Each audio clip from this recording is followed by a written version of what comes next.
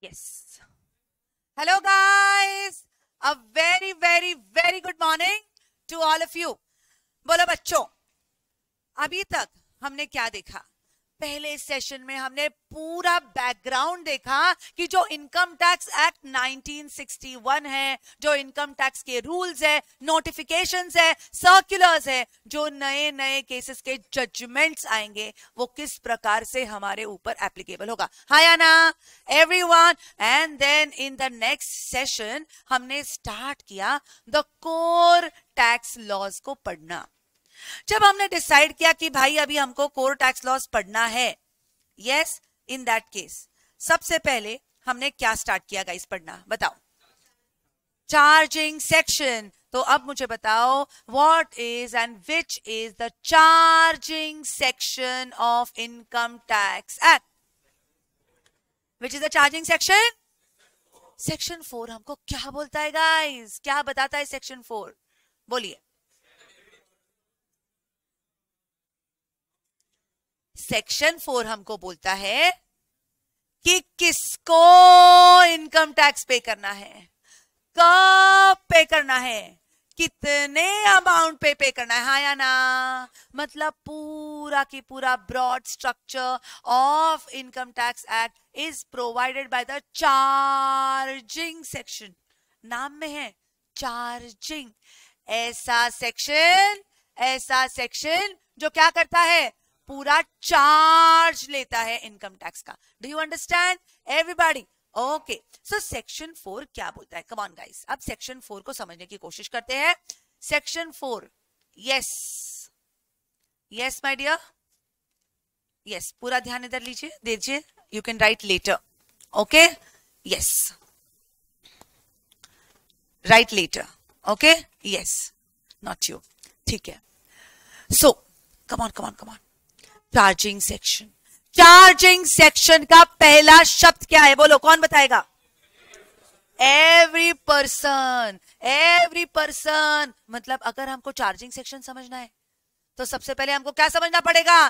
कि पर्सन मतलब क्या? ये हमको समझना बेहद ज़रूरी है।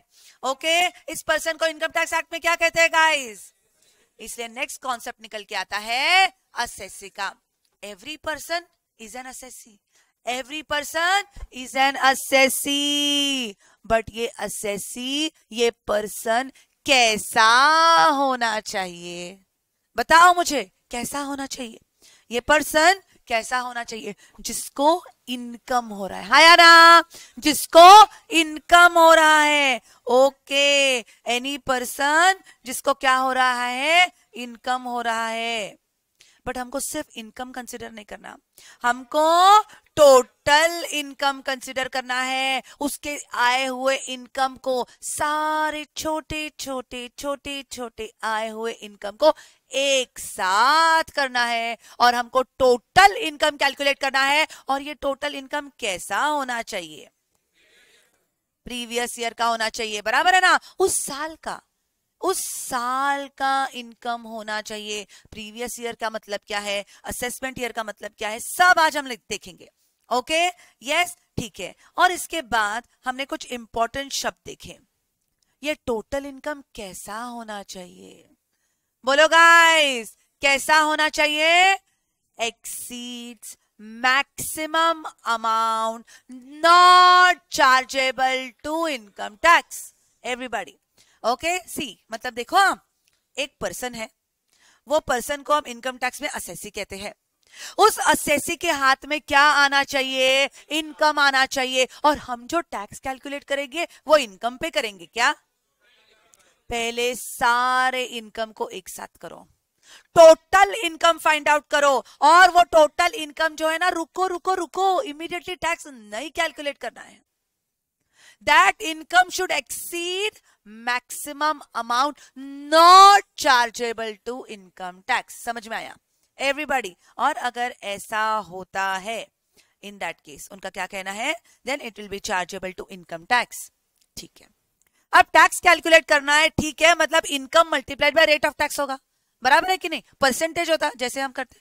So in that case we should know what is the meaning of rates for income tax हाँ या ना? हाँ या ना? तो अभी रेट से अगर आपको मल्टीप्लाई करना है you have to find out the income tax मतलब आप इनकम को परसेंटेज से मल्टीप्लाई करेंगे तो आपका निकल के आएगा इनकम टैक्स हाँ या ना? हाँ या ना एवरीबडी ओके सो ये जो रेट्स है, ये जो रेट्स है rates of income taxes have been mentioned where have been mentioned where in सवाल ये आता है, अगर मैं कहूँ कि it has been mentioned in the income tax act तो इनकम टैक्स एक्ट तो कौन से साल को बिलोंग करता है? हर साल उसमें हमें क्या करने की ज़रूरत है? अमेंडमेंट्स हम किसके द्वारा करते हैं? बजट कहाँ पे आता है? फाइनेंस एक्ट का हिस्सा है। बराबर है कि नहीं? तो जो करंटली एप्लीकेबल रेट्स है, वो कहाँ पे मेंशन रहेंगे? Clear everybody everybody hundred percent okay yes yes so अगला कॉन्सेप्ट अपना निकल के आता है कि yes rates should be mentioned in the finance act clear okay फिर फिर. ओके okay, सो so इस प्रकार से हमने क्या समझने की कोशिश करी? यस चार्जिंग सेक्शन समझने की कोशिश करी. So this is the way guys जिस तरीके से हम लोग टैक्स पढ़ने वाले हैं. एंड गाइस हमारा एम यहाँ पे आपके लिए सिर्फ़ एक ही है. यस हमारा एम हमारे बच्चों के लिए यहाँ पे इस प्लेटफॉर्म पे एक ही है। मैं C S C S Piyusha Sarda I am in front of you on behalf of M E P L classes just to impart okay just to teach only with one motive एक motive quality education okay जो करना है वो best करना है। जो करना है वो बेस्ट करना है। एंड एंड जो भी मटेरियल इंस्टीट्यूट के द्वारा यस yes, हमारे इंटर के बच्चों को दिया जाएगा उस सारा की सारा डिस्कशन हम लोग करेंगे। Okay okay? इसी प्लेटफॉर्म पे करेंगे। कहीं कुछ आपसे छूट ना जाएगा इस इसके लिए do not forget to subscribe the channel and also press the bell icon okay yes so www.mepl.classes.com पे आपको मिल जाएगा हमारा साथ जहाँ पे आपको yes you will get all the combination आप एज अ ग्रुप भी और सारे सब्जेक्ट्स ले सकते हैं। आप इंडिविजुअल लेवल पे भी सारे सब्जेक्ट्स ले सकते हैं। हमारे क्लासेस एम क्लासेस जो रेवोल्यूशन आपके लिए लेके आता है गाइस ओके यस वो रेवोल्यूशन आपको और कहीं पर भी नहीं दिखेगा ओके? यस तो फिर इसके आगे हमने स्टार्ट किया कि चार्जिंग सेक्शन चार्जिंग सेक्शन यहाँ पे जिन कॉन्सेप्ट्स की बात करता है now let us go to each concept one by one सबसे पहले हमने ये समझने की कोशिश करी कि भाई यहाँ पे पर्सन मतलब कौन? हाँ या ना? तो बताओ person has been defined under with section section 231 yes और नो एवरीबॉडी यस और नो ठीक है. सेक्शन 231 क्या बोलता है? यस सेक्शन 231 क्या बोलता है गाइस सेक्शन 231 कहता है कि हम पर्सन के डेफिनेशन में इंक्लूड करेंगे सारे प्रकार के बिजनेसेस को। हाँ या ना? हाँ या ना? यस ओके तो सबसे पहले सबसे पहले सेक्शन 231 डिफाइंस पर्सन और इंक्लूड्स इंक्लूसिव है कि एग्जॉस्टिव है? इंक्लूसिव है। ओके कितने कैटेगरीज ऑफ़ इंडिविजुअल कितने कैटेगरीज ऑफ़ पर्सन है? सेवन कैटेगरीज कई बार एमसीक्यू में पूछा जाता है। Yes how many categories are included in the definition of person how many categories seven categories very good my dear friends okay yes तो पहला कैटेगरी क्या बोलता है? बोलो बच्चों। पर्सन इंक्लूड्स किसको इंक्लूड करता है? इंडिविजुअल्स इंडिविजुअल्स मतलब क्या? नेचुरल ह्यूमन बींग्स अब नेचुरल ह्यूमन बींग क्यों लिखा है यहाँ पर? Very good because there are artificial beings also मतलब मैं यहाँ पे एआई की बात नहीं कर रही, फिर मैं रोबोट्स की बात नहीं कर रही, वहाँ तक अभी तक इनकम टैक्स एक्ट पहुँचा नहीं है। विद दिस अपकमिंग एआई हो सके। अमेंडमेंट आ जाए। हाँ या ना? ठीक है। तो यहाँ पे मैं किस आर्टिफिशियल बींग की बात कर रही हूँ? कमान गाइस किसकी? वो बींग्स ओके वो पर्टिकुलर कैटेगरीज जो in the eyes of law create होते हैं। हाँ या ना? In the eyes of law create होना मतलब? मतलब कम ऑन गाइस नहीं? मोर इन टू डिटेल मतलब जब आप किसी भी लॉ के अंडर खुद को रजिस्टर करते हो then you are created in the eyes of law हाँ या ना?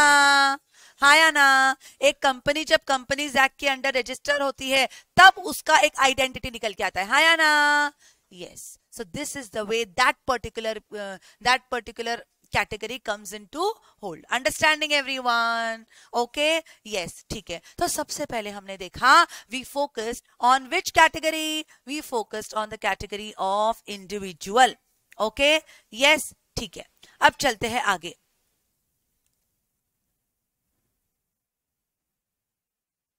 Yes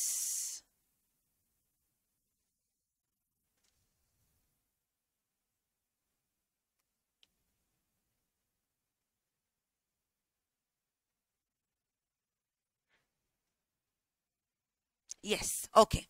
अब चलते हैं आगे। अब यहाँ पे उन्होंने क्या बोला है? मेल्स फीमेल्स सारे इंडिविजुअल्स यहाँ पे कवर हो जाएँगे। बट यहाँ पे उन्होंने कुछ स्पेसिफिक कैटेगरीज भी इंक्लूड करी है। उनका कहना है माइनर अनसाउंड माइंड को भी हम इंडिविजुअल मानेंगे। उनको भी अगर इनकम होगा और वो इनकम अगर एक हद के बाहर होगा तो उनको भी इनकम टैक्स पे करना पड़ेगा। बट हम उनके पास नहीं जाएँगे। उनके बिहाफ पे हम उनके मैनेजर के पास जाएँगे। अगर कोई डिसीज हो गया है तो हमें भी स्वर्ग में जाने की ज़रूरत नहीं है। हम उनके लीगल रिप्रेजेंटेटिव से उनका टैक्स लिया जाएगा बट टैक्स तो लिया जाएगा। समझ में आ रहा है? ओके यस ठीक है। उसके बाद हमने क्या देखा? उसके बाद हमने नेक्स्ट कैटेगरी क्या देखी? एचयूएफ की। नेक्स्ट कैटेगरी क्या देखी? एचयूएफ की Hindu undivided family Hindu undivided family yes Hindu undivided family का पार्ट हम कैसे बनते हैं? By birth right everybody okay उसके बाद नेक्स्ट कैटेगरी किसकी है? पार्टनरशिप फर्म या LLP what is the meaning of partnership firm और LLP come on come on come on it's a revision जल्दी जल्दी।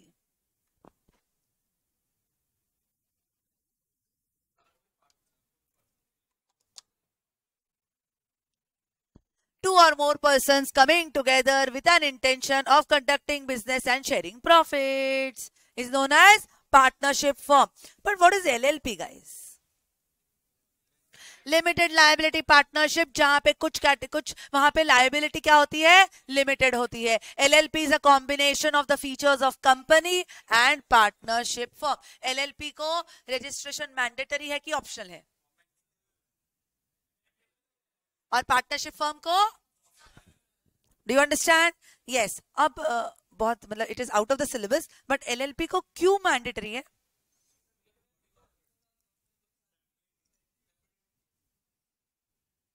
बिकॉज़ उसका लायबिलिटी अनलिमिटेड है। सॉरी uh, लिमिटेड है। उसका लायबिलिटी लिमिटेड है। वो कभी भी अपना बिज़नेस बंद करके भाई नहीं हो सकता। हाँ या ना? हाथ जोड़ के जा सकता है, बराबर है ना? तो उस पर किसी का गवर्निंग पावर होना चाहिए कि नहीं? हाँ या ना? यस तो उस पर नज़र रखने के लिए, उसको गवर्न करने के लिए। ओके वो गवर्नमेंट वो लॉस कब कर पाएगा? जब वो किसी लॉ के अंडर रजिस्टर्ड होगा, तभी तो उसको रेगुलेट कर पाएँगे। हाँ या ना? इसीलिए एलएलपी का रजिस्ट्रेशन मैंडेटरी है। एवरीथिंग इज़ लॉजिकल अंडरस्टैंडिंग अब चलते हैं आगे। नेक्स्ट नेक्स्ट हमने देखा। Next, company. Okay, now company may be registered in India. Company may be registered outside India. A company which is registered in India. Come on, a company which is registered in India is known as Indian company. Indian company. अब company registered outside India है. Company registered outside India है. Yes, example दिमाग में एक रखो कौन सा दिया था मैंने example? डोमिनोज का एग्ज़ाम्पल दिया था इंडिया की आबादी इतनी है कि वो नहीं बेचना चाहे तो भी उसका पिज्जा बराबर है ना? तो एज अ ट्रिब्यूट यहाँ के कंज्यूमर्स को खुश करने के लिए वो इंडिया में डिविडेंड डिक्लेयर करते हैं। Foreign registered outside India declaring dividend in India okay business में कोई किसी के लिए फ्री में कुछ करता है क्या भाई? तो जब जब वो इंडिया में डिविडेंड डिक्लेयर कर रहे हैं मतलब कहीं ना कहीं उनके प्रॉफिट्स इंडिया से अफिलिएटेड है हाँ या ना? सो उनको क्या माना जाएगा? Domestic so Indian company plus foreign company issuing declaring dividend in India is known as domestic company getting it and a company foreign company which declare dividend outside India will be known as clear okay yes ठीक है. अब ये Indian company foreign company ये समझना क्यों ज़रूरी है? Come on guys ये समझना क्यों ज़रूरी है? Income tax act is govern by directly indirectly by the ministry of finance बराबर है कि नहीं? उसके अंडर अंडर अंडर हमने डिपार्टमेंट्स बनाए। हाँ या ना? ये मिनिस्ट्री ऑफ़ फाइनेंस इंडिया के कानून का हिस्सा है। हाँ या ना? इन कानून के हाथ लंबे हैं, पर लंबे कितने हैं? इंडिया तक लंबे हैं, इसलिए इंडिया में कौन आएगा और इंडिया के बाहर कौन आएगा, ये समझना ज़रूरी है। बराबर है ना? यस उनका क्या कहना है? आप इंडियन कंपनी हो, आप डोमेस्टिक कंपनी हो तो आपको हमारी हमारे जो rules regulation ministry of finance है गवर्नमेंट है, कानून है, आपको यहाँ पे गवर्न करेंगे। बट अगर आप फॉरेन कंपनी है तो वहाँ पे हमारा लिमिटेशन आ जाएगा। क्लियर एवरीबॉडी ओके यस तो हमें ये समझना ज़रूरी है। Just minute guys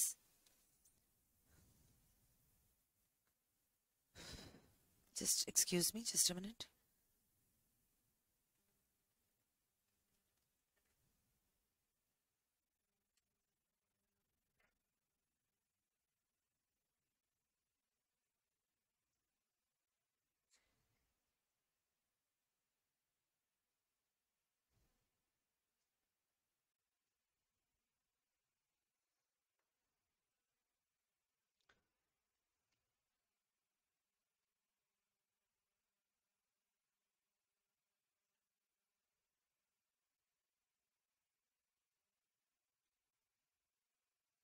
Okay.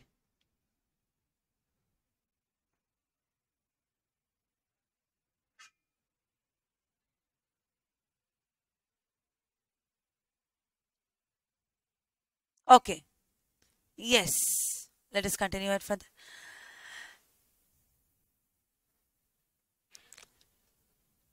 Ritik, listen. आप ये सवाल तीन चार बार पूछ चुके हो, इसलिए रिचिता, ऋतिक, मैं आपको बता दूँ। राइट right नाउ आपको डीटी मैं पढ़ाने वाली हूँ ओके यस मेरा रिस्पॉन्सिबिलिटी है आपको डीटी पढ़ाना।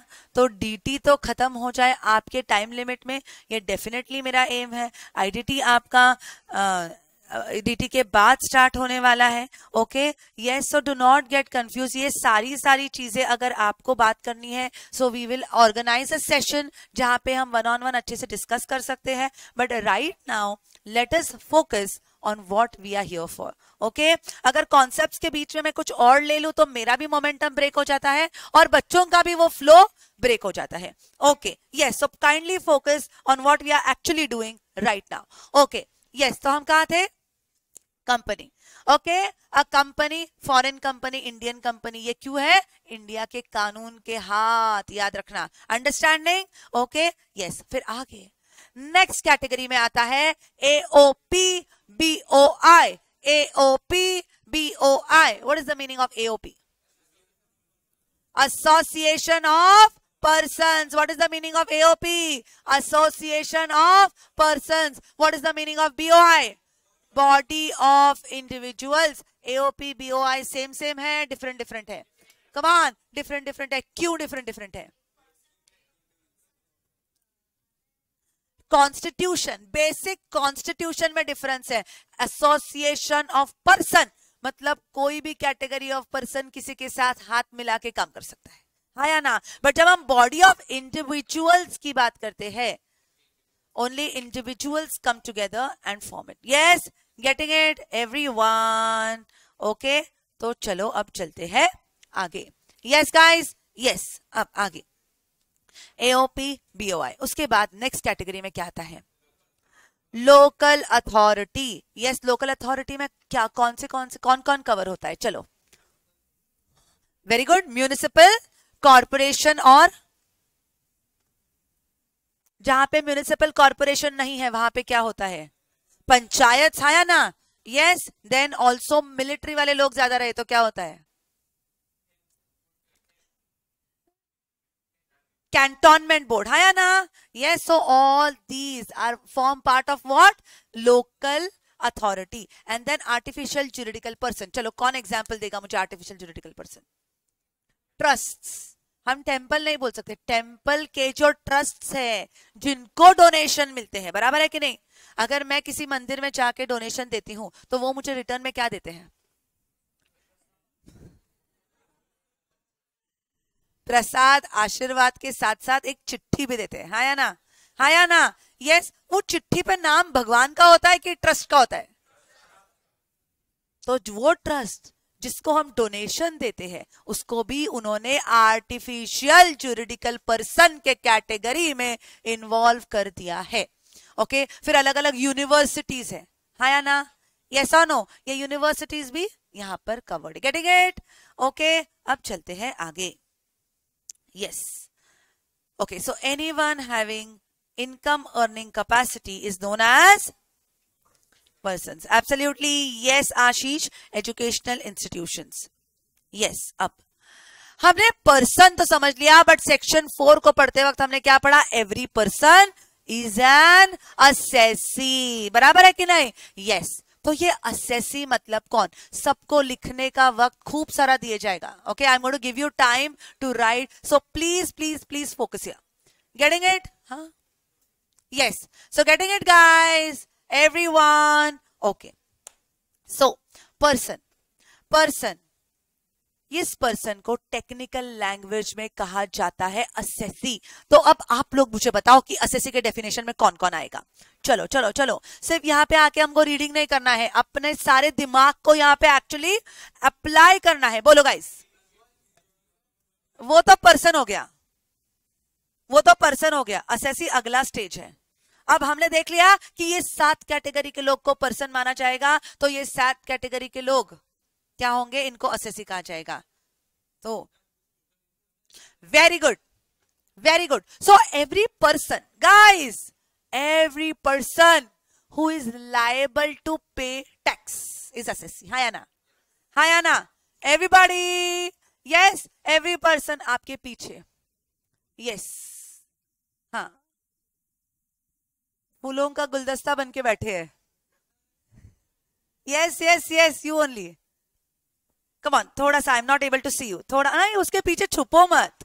सामने आ जाओ। यस यस रडार में होता है तो समझने में आसानी होती है। कौन ध्यान दे रहा है, कौन नहीं दे रहा है। Okay yes guys everyone shall we go ahead yes.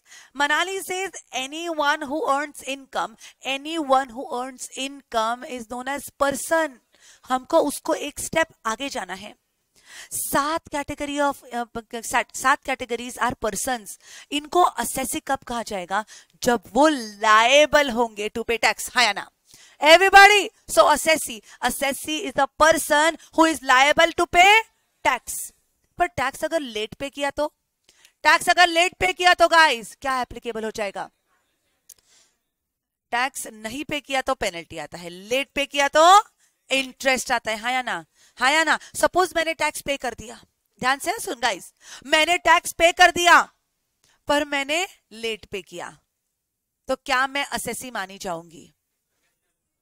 बराबर है ना? तो यहाँ पे देखो लॉ बनाने वाला कितना ब्रिलियंट है। उन्होंने क्या कहा है? Every person who is liable to pay tax, liable to pay interest और पेनल्टी ओके okay? हम ऐसा नहीं बोलते कि टैक्स भी होना चाहिए इंटरेस्ट भी होना चाहिए पेनल्टी भी होना चाहिए नहीं। इनमें से अगर कुछ भी आपका पे करना बाकी रहा तो हम आप क्या क्या मानेंगे? यस yes, हम आपको क्या मानेंगे? असेसी सबसे पहले ओके okay? यस yes, इस असेसी को इनकम टैक्स एक्ट में शॉर्ट फॉर्म कैसे लिखते हैं? The abbreviation is double A okay the abbreviation is double A okay ठीक है. यस yes, फिर आगे. उनका क्या कहना है? Yes any person who is liable to pay tax interest penalty is known as assessee ठीक है ठीक है. हाँ. ओके नो प्रॉब्लम अब हमने गवर्नमेंट को हमने इनकम टैक्स डिपार्टमेंट को एक लाख रुपए टैक्स पे करना था. बट हमने उनको एक लाख पचास हज़ार टैक्स पे किया। ध्यान से सुनना। तो अगर मैं सिर्फ़ इतना डेफिनेशन लिखती कि any person who is liable to pay tax interest penalty is known as assessee तो उन लोगों का क्या जिन्होंने गलती से ज़्यादा टैक्स पे किया है? बराबर है ना? यस yes, मतलब यहाँ पे गवर्नमेंट इनकम टैक्स डिपार्टमेंट हमको वापस रिफंड करने वाली है हमारा पैसा हाँ या ना? तो असेसी के डेफिनेशन में उन मासूम इनकम टैक्स इन मासूम असेसीज को भी इंक्लूड किया है जिन्होंने ज़्यादा टैक्स पे किया है और उनको इनकम टैक्स डिपार्टमेंट से टैक्स वापस वसूल करना है understanding everybody okay so assessee is every person who is liable to pay interest tax or penalty he is liable to refund and yes फिर हमने क्या देखा income includes positive income as well as negative income. हाँ या ना? हमने ये तो देख लिया every person is an assessee having total income income income बराबर है कि नहीं? यस yes, तो अगर लॉस है अगर लॉस है उनको तो मतलब उनके हाथ में इनकम ही नहीं है। बराबर है ना? हाँ या ना? बट ये loss okay usually is carried forward and set off इसका मतलब क्या होता है? इस बार लॉस हुआ है ना, इसको हम आगे कैरी फॉरवर्ड करेंगे। और जब अगले साल हमें कुछ इनकम होगा तो उसके अगेंस्ट हम एडजस्ट करेंगे। It is known as set off and carry forward getting it getting it every one okay yes so any person okay? Every person is an assessee. कौन है assessee? Assessee is every person who is liable to pay tax, interest penalty, who is liable to get refund. जिनको loss हुआ है, वो उन loss का क्या कर सकते हैं? सेट ऑफ़ या कैरी फॉरवर्ड भी कर सकते हैं। अब कुछ कैटेगरीज के लिए डीम्ड असेसी है। कौन सी कैटेगरी रहेगी guys yes trust trust trust के बिहाफ पे कौन काम करेगा? ट्रस्टी तो यहाँ पे हम ट्रस्ट को नोटिस देते हैं। मतलब किसके नाम पे नोटिस देंगे? ट्रस्टी के नाम पे। बराबर है माइनर या ल्यूनेटिक है? ल्यूनेटिक मतलब पर्सन ऑफ़ अनसाउंड माइंड ठीक है? Yes okay then one who receives income on behalf of others उनको क्या कहा जाएगा? डीम्ड असेसी कहा जाएगा। फिर यहाँ पे उन्होंने रिप्रेजेंटेटिव असेसी भी इंक्लूड किया है। What is the meaning of representative assessee POA LOA क्या होता है? सोचो। मैं हिंट देती हूँ। मेरे नाम पे एक बड़ा बिज़नेस है। और मैं I am not going to be in the town for another ten days okay तो जहाँ पे चेकबुक में साइन लगेंगे, मैंने साइन तो कर दिए। बट अगर इमरजेंसी में साइन करना पड़ा तो मैं तो हूँ नहीं। तो मैंने किसी और को अथॉरिटी दी है। Yes somebody said it right power of attorney और लेटर ऑफ़ अथॉरिटी ऐसे लोग ऐसे लोग जिनको मैंने पावर ऑफ़ अटॉर्नी दी है, जिनको मैंने लेटर ऑफ़ अथॉरिटी दी है, उनको क्या कहा जाएगा? रिप्रेजेंटेटिव असेसी कहा जाएगा। किन के लिए रिप्रेजेंटेटिव असेसी होते हैं? यूजुअली एनआर एनआर मतलब नॉन रेसिडेंट वो तो इंडिया के बाहर ही होते हैं। हाँ या ना? तभी तो वो एनआर है। हाँ या ना? तो जब उनका बिज़नेस इंडिया में है तो उनके बिहाफ पे कोई तो चाहिए ना? बिज़नेस रन करने के लिए। हाँ या ना? वो उनके लिए power of attorney and letter of authority usually issued होता है। सेम अगर डिसीज है ओके तो उनके बिहाफ पे कोई तो काम करता है कि नहीं? नॉमिनी होता है कि नहीं? यस ओके ठीक है, फिर आगे. नेक्स्ट नेक्स्ट कैटेगरी बहुत इंटरेस्टिंग है. असेसी इन डिफ़ॉल्ट पे करना था पे किया असेसी लेट पे किया इंटरेस्ट दिया असेसी नहीं पे किया पेनल्टी दिया असेसी पर अगर ये कुछ भी नहीं किया तो ध्यान से सुनना, ये कुछ भी नहीं किया तो हमें टैक्स पे करना था बट हमने किया ही नहीं। हमें इंटरेस्ट पे करना था बट हमने किया ही नहीं। समझ में आया? All these category is included in assessee in default failure to deduct TDS remit TDS pay tax और pay any other sum what is TDS सुना है कभी ये शब्द? ठीक है TDS okay it is a very early stage कि मैं आपको टीडीएस का मतलब बताऊँ। But let us understand what is the meaning of TDS थोड़ा एकदम एकदम सिंपल लैंग्वेज में मैं बताती हूँ। ध्यान से सुनना गाइस मुझे आपको पेमेंट करना। ये अगर कॉन्सेप्ट आप समझ गए तो आपको कभी दिक्कत नहीं आएगी टीडीएस में। मैंने आपको कुछ पेमेंट किया गाइस फोकस मैंने आपको पेमेंट किया। तो मेरे लिए क्या है वो? एक्सपेंस आपके लिए वो क्या है? एनीबडी हैविंग एनी डाउट्स मेरे लिए एक्सपेंस है, आपके लिए इनकम है। अगर मेरे लिए एक्सपेंस है तो मैं क्या करूँगी? प्रॉफिट्स में से वो लेस कर दूँगी। हाँ या ना? प्रॉफिट्स मैंने मैंने लेस किया तो मेरे प्रॉफिट्स कम हुए कि ज़्यादा हुए? अगर मेरे प्रॉफिट्स कम हुए गाइस तो मेरा टैक्स कम हुआ कि ज़्यादा हुआ? Anybody having any doubts ठीक है तो मेरा किस्सा तो सिंपल है। जो भी खर्चा पानी है, मैंने उसमें से प्रॉफिट में से हटा दिया और बैलेंस में मैंने टैक्स पे कर दिया। अब आपकी बारी आई। अब आपकी बारी आई। मेरे हाथ में एक्सपेंस तो आपके हाथ में? आवाज़ नहीं आया। अब आपके हाथ में अगर इनकम है तो आपने क्या करना चाहिए? पर आपने टैक्स नहीं पे किया। समझ में आ रहा है? आपने टैक्स नहीं पे किया। या तो फिर आप उस कैटेगरी में आते ही नहीं मतलब आपका exceeds maximum amount not chargeable to tax okay yes या तो फिर क्या है? आपने टैक्स पे किया ही नहीं। तो अब गवर्नमेंट का देखो कैसे नुकसान हुआ इनकम टैक्स डिपार्टमेंट का। मैंने एक्सपेंस क्लेम किया। हाँ या ना? हाँ या ना? मैंने उतने प्रॉफिट्स कम कर दिए। मैंने उतना टैक्स कम पे किया। बराबर है कि नहीं? यस यस ठीक है। यस पर आपने, और आपने भी उस पर टैक्स नहीं पे किया। मतलब मेरे हाथ में, मेरे हाथ में जो टैक्स जाना था वो तो चला ही गया। आपने भी गवर्नमेंट को टैक्स नहीं पे किया। तो गवर्नमेंट का दोनों तरफ़ से नुकसान। हाँ या ना? हाँ या ना? तो गवर्नमेंट क्या बोलता है? गवर्नमेंट बोलता है, पीयूषा मैम, सुनो। खर्चा किसने किया? आपने। एक्सपेंस को अलाउ मतलब प्रॉफिट में से लेस किसको करना है एक्सपेंस आपको। एक काम करो ना, क्यों आप किसी और पे निर्भर रह रहे हो टैक्स पे करने के लिए? आप आत्मनिर्भर बनो।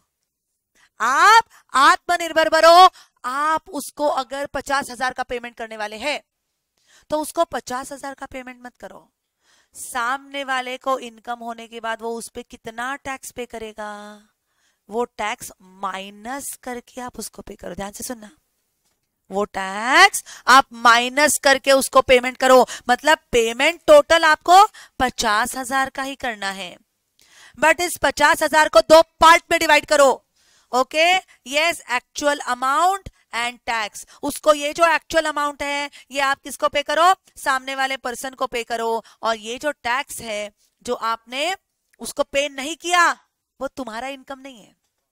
वो तुम्हारा इनकम नहीं है, वो गवर्नमेंट का इनकम है। तो ये टीडीएस फिर तुम ही जाके गवर्नमेंट को पे करो ओके okay? Yes yes? तो मतलब आपने यहाँ पे क्या किया? सबसे पहले इस अमाउंट से टीडीएस को डिडक्ट किया हाँ या ना? माइनस किया हाँ या ना? और उसको बैलेंस पे किया। अब आपके जेब में ये पैसा बचा है हाँ या ना? हाँ या ना? तो इसको आपको क्या करना है? पे करना है। तो अगर मैंने डिडक्ट नहीं किया टीडीएस तो भी मैं ऐसे इन डिफ़ॉल्ट डिडक्ट किया है पर मेरे जेब में रखा है. Treating it as my income तो भी यस yes, ये कैसा होगा? असेसी इन डिफ़ॉल्ट होगा. मतलब मुझे डिडक्ट भी करना है और डिडक्ट किया हुआ पैसा जिसकी ज़िम्मेदारी है उसके घर पे उसको विदा भी करना है. गवर्नमेंट को उसको पे भी करना है. समझ में आया? एवरीबॉडी ओके सो टीडीएस का मेन इंटेंशन क्या है? हम सामने वाले पे भरोसा नहीं रखेंगे। आप ही उसको पैसा देते वक्त टीडीएस माइनस करके टैक्स माइनस करके पे करो। इसलिए शब्द यूज़ क्या है? टैक्स डिडक्टेड एट सोर्स जहाँ पे शुरुआत हुई उस पैसे की, वहीं पर टैक्स डिडक्ट करके आगे पेमेंट करो। Understanding every one okay yes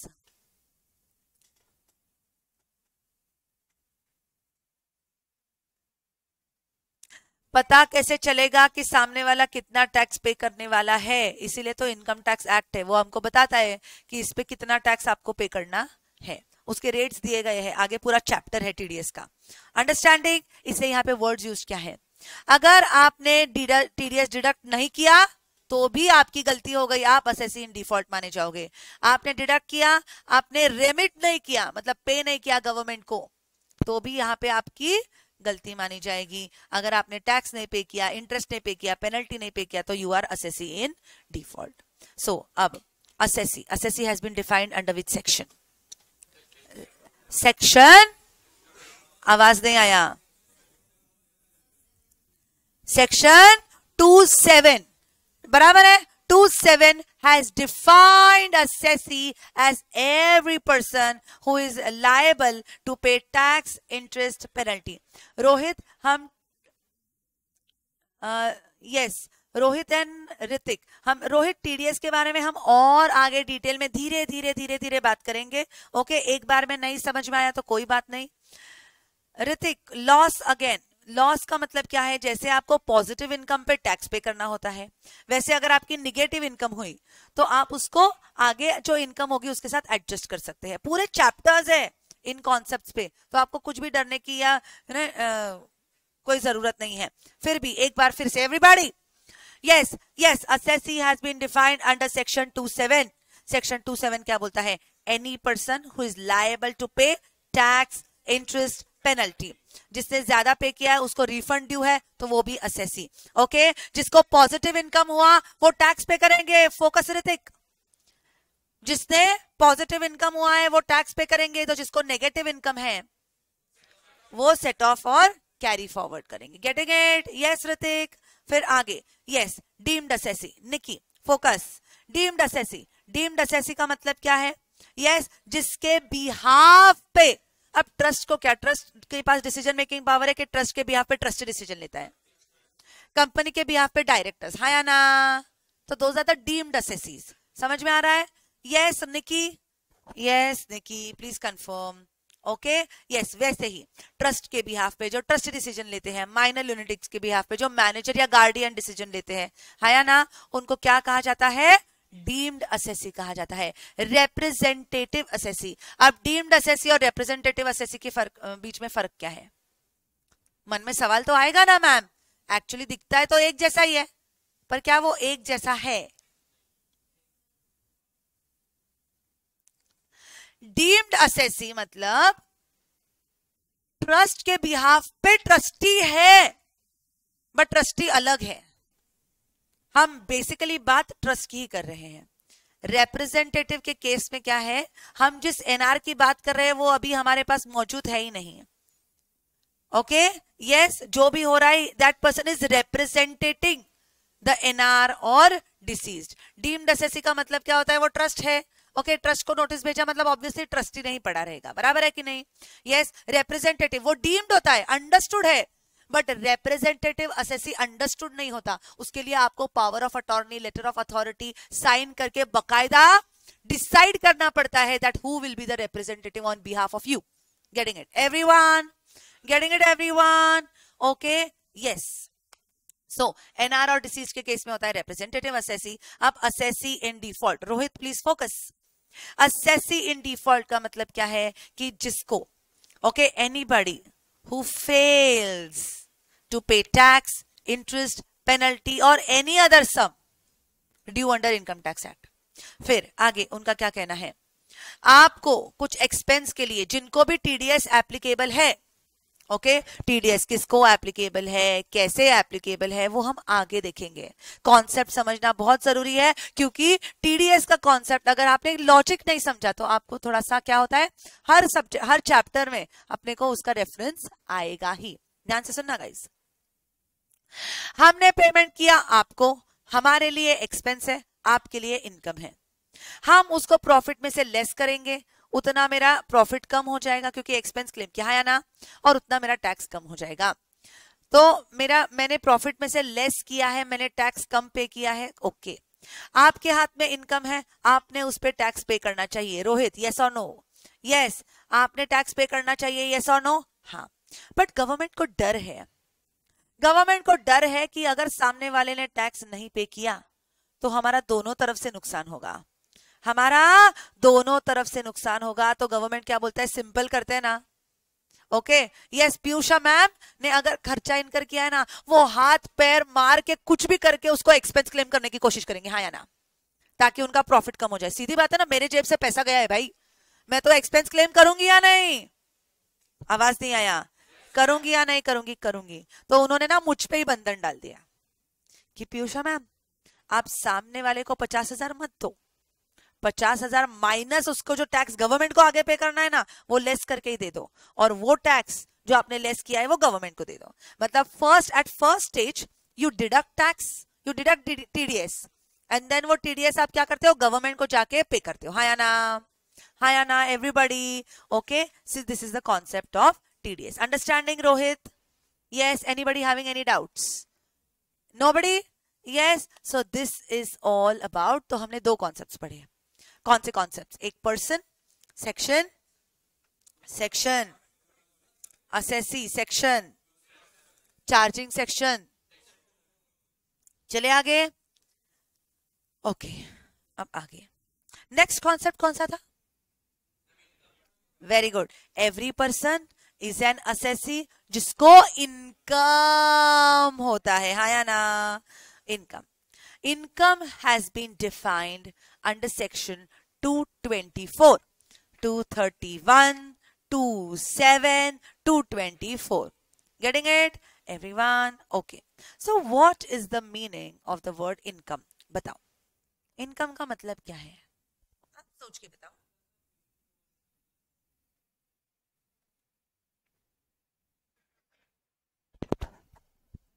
फिर से बोलना, क्या बोला? Okay surplus of revenue over expenditure अब मैं आपको पढ़ा रही हूँ। ध्यान से सुनना गाइस अब मैं आपको पढ़ा रही हूँ। ओके मैं आती हूँ। ओके मैंने मेरा जो भी खर्चा एक बार का कर लिया, बार बार मुझे खर्चा करने की ज़रूरत नहीं है। ओके और मुझे रेवेन्यू इनकम आ रहा है।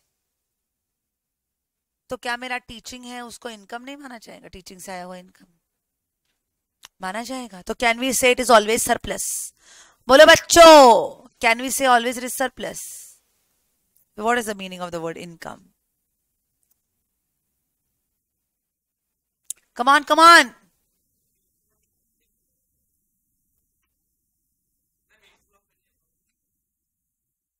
what is the meaning of the word income mobile phone इधर चाहिए मुझे। राइट right नाउ पास करो उनका फ़ोन पास करो उनका फ़ोन इधर। What is the meaning of the word income yes आपके नेबर को पूछो, चलो what is the meaning of the word income yes हम कौन सा कॉन्सेप्ट डिस्कस कर रहे हैं? Come on anybody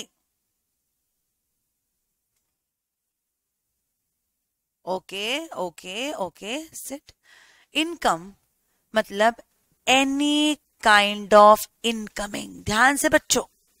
any kind of incoming हा या ना ओके यस ठीक है। ठीक है ठीक है। फोकस गाइस फोकस अब हुआ क्या? मैंने मेरा प्रोफेशनल डिग्री लिया ओके okay? मैंने मेरा प्रोफेशनल डिग्री लिया, उसके बाद मैं प्रोफेशनल बन गई ओके?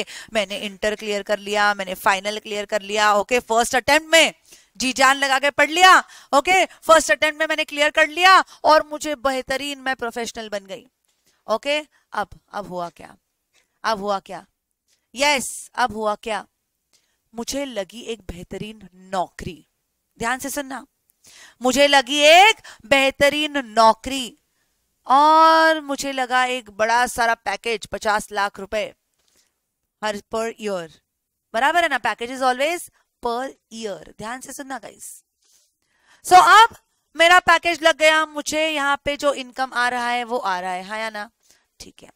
फिर अब एक कंडीशन थी हाँ बहुत ध्यान से सुनना कि अगर आपको ये जॉब करना है तो आपको कहाँ पे आना पड़ेगा?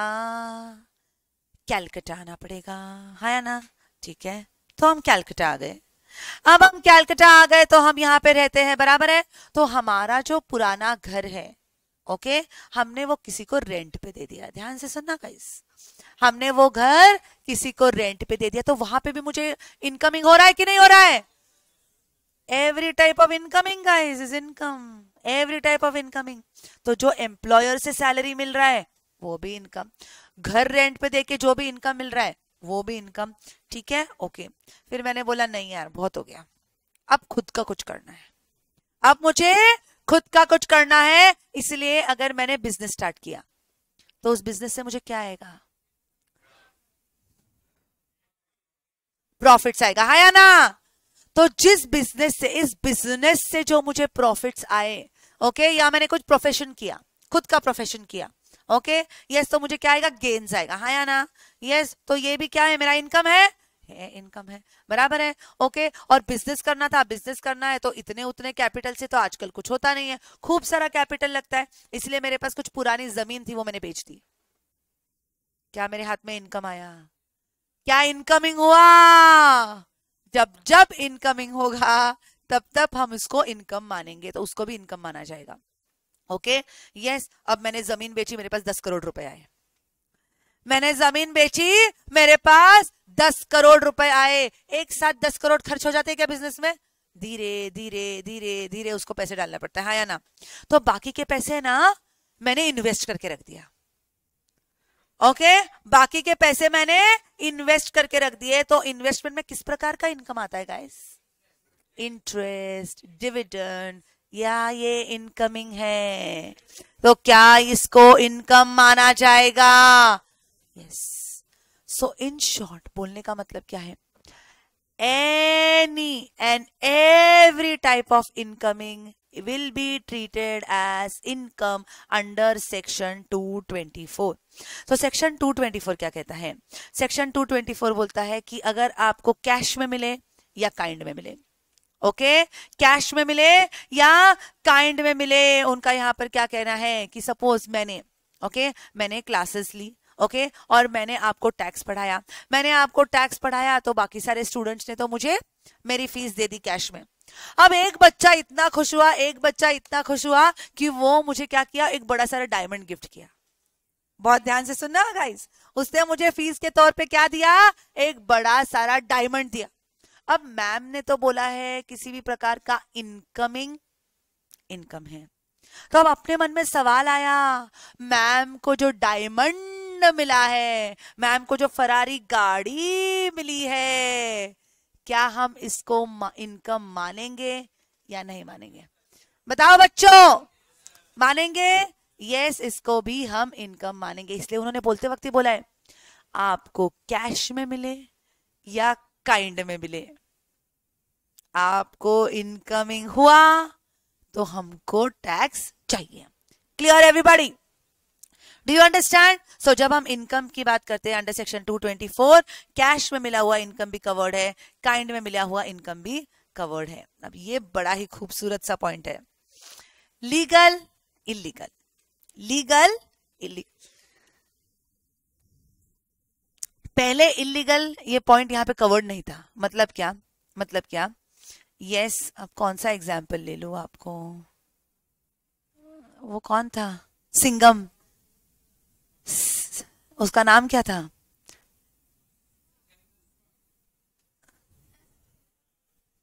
पुष्पा नहीं, पुष्पा को भी ले सकते हैं हम एग्ज़ाम्पल जयकांत शिखरे हाँ हाँ हाँ हाँ जयकांत शिखरे ओके अब हुआ क्या?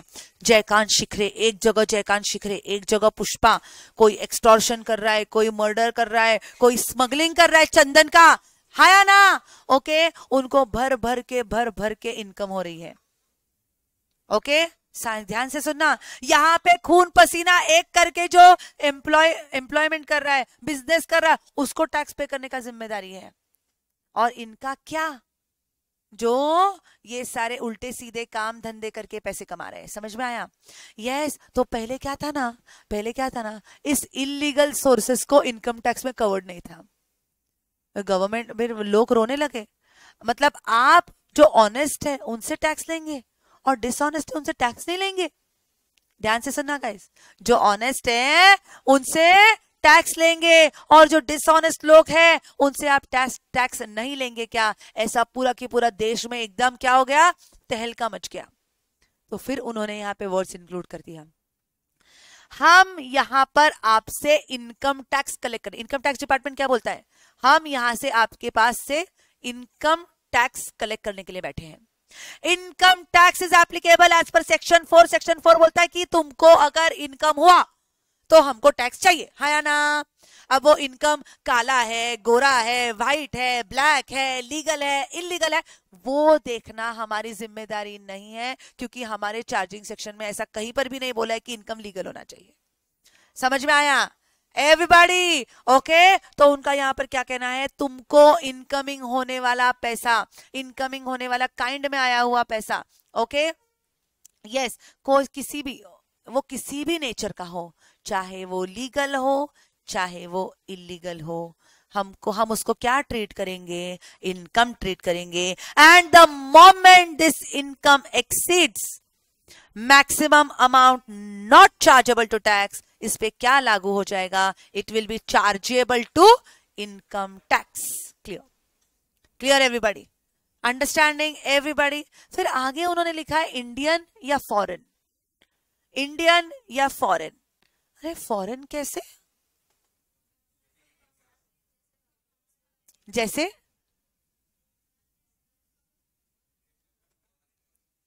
आपने व्हाइट हैट के बारे में सुना था क्या? व्हाइट हैट लॉकडाउन के टाइम पे कोडिंग कोडिंग के एडवर्टाइज तो डेफिनेटली सौ टक्का देखा होगा। इतना एडवर्टाइजिंग कैंपेन किया था उन्होंने। ओके okay, आपके बच्चे को कोडिंग सिखाना है कोडिंग सिखाना है कोडिंग सिखाना है। White Hat White Hat White Hat हाँ या ना? और कितने लोगों को उन्होंने एम्प्लॉयमेंट भी दिया व्हाइट हैट में। हाँ या ना? यस कितने लोगों को? बराबर है? ओके यस तो यहाँ पर यहाँ पर। व्हाइट हैट वो इंडिया में रजिस्टर्ड नहीं है यूएसए की कंपनी है। पता है ना आपको? यस अब सुनो। अब मैंने सपोज़ व्हाइट हैट में उनको क्या बोला कि मैं बच्चों को कोडिंग पढ़ाऊँगी? आप मुझे पैसा देना। समझ में आया? आप मुझे पे करना। अंडरस्टैंडिंग एवरीवन ठीक है फोकस गाइज़ फिर हुआ क्या? फिर हुआ क्या? ओके मैंने खुद को अमेरिकन कंपनी के अंडर रजिस्टर किया और वो वहाँ से मुझे पेमेंट कर रहे हैं। आई एम इंडियन मुझे इनकम हो रहा है फ्रॉम फॉरेन सोर्सेस है ना बट मैंने पहला शब्द क्या बोला? I am I am I am कानून के हाथ लंबे हैं और लंबे इंडिया तक है और इंडियंस तक है। हाँ ना so the moment I am Indian the moment I am Indian even if वो पैसा फॉरेन से आ रहा है इनकमिंग है ना? तुम इंडिया हो इंडिया में हो ना तो तुमको इंडिया में उस पर टैक्स पे करना पड़ेगा। समझ में आया?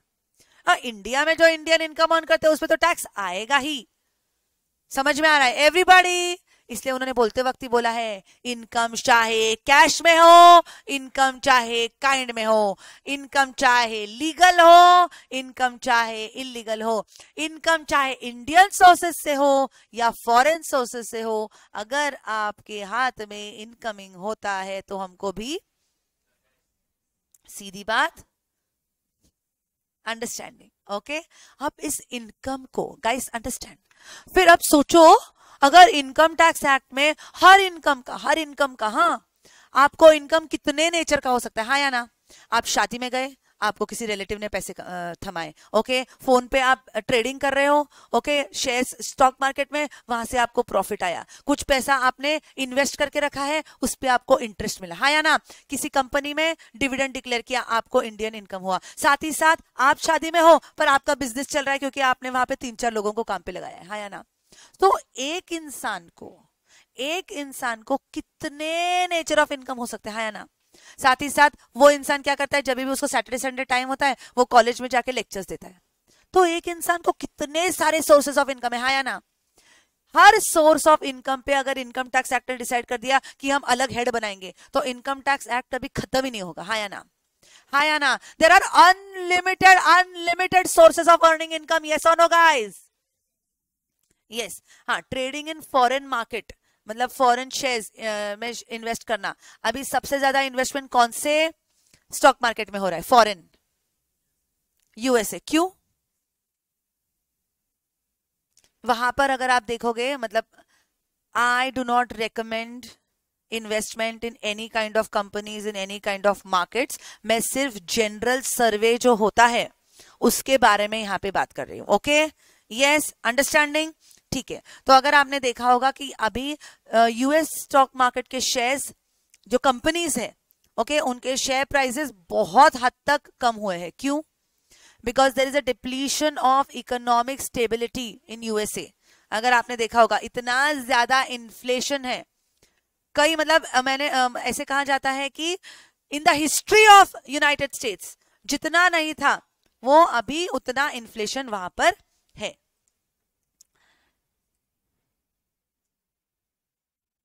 सुजल वहाँ तक अभी तक आप पहुँचे नहीं हैं हम। वहाँ पे पहुँचेंगे तब हम डिस्कस करेंगे। यस ओके ठीक है? यस yes, बोलने का मतलब क्या है?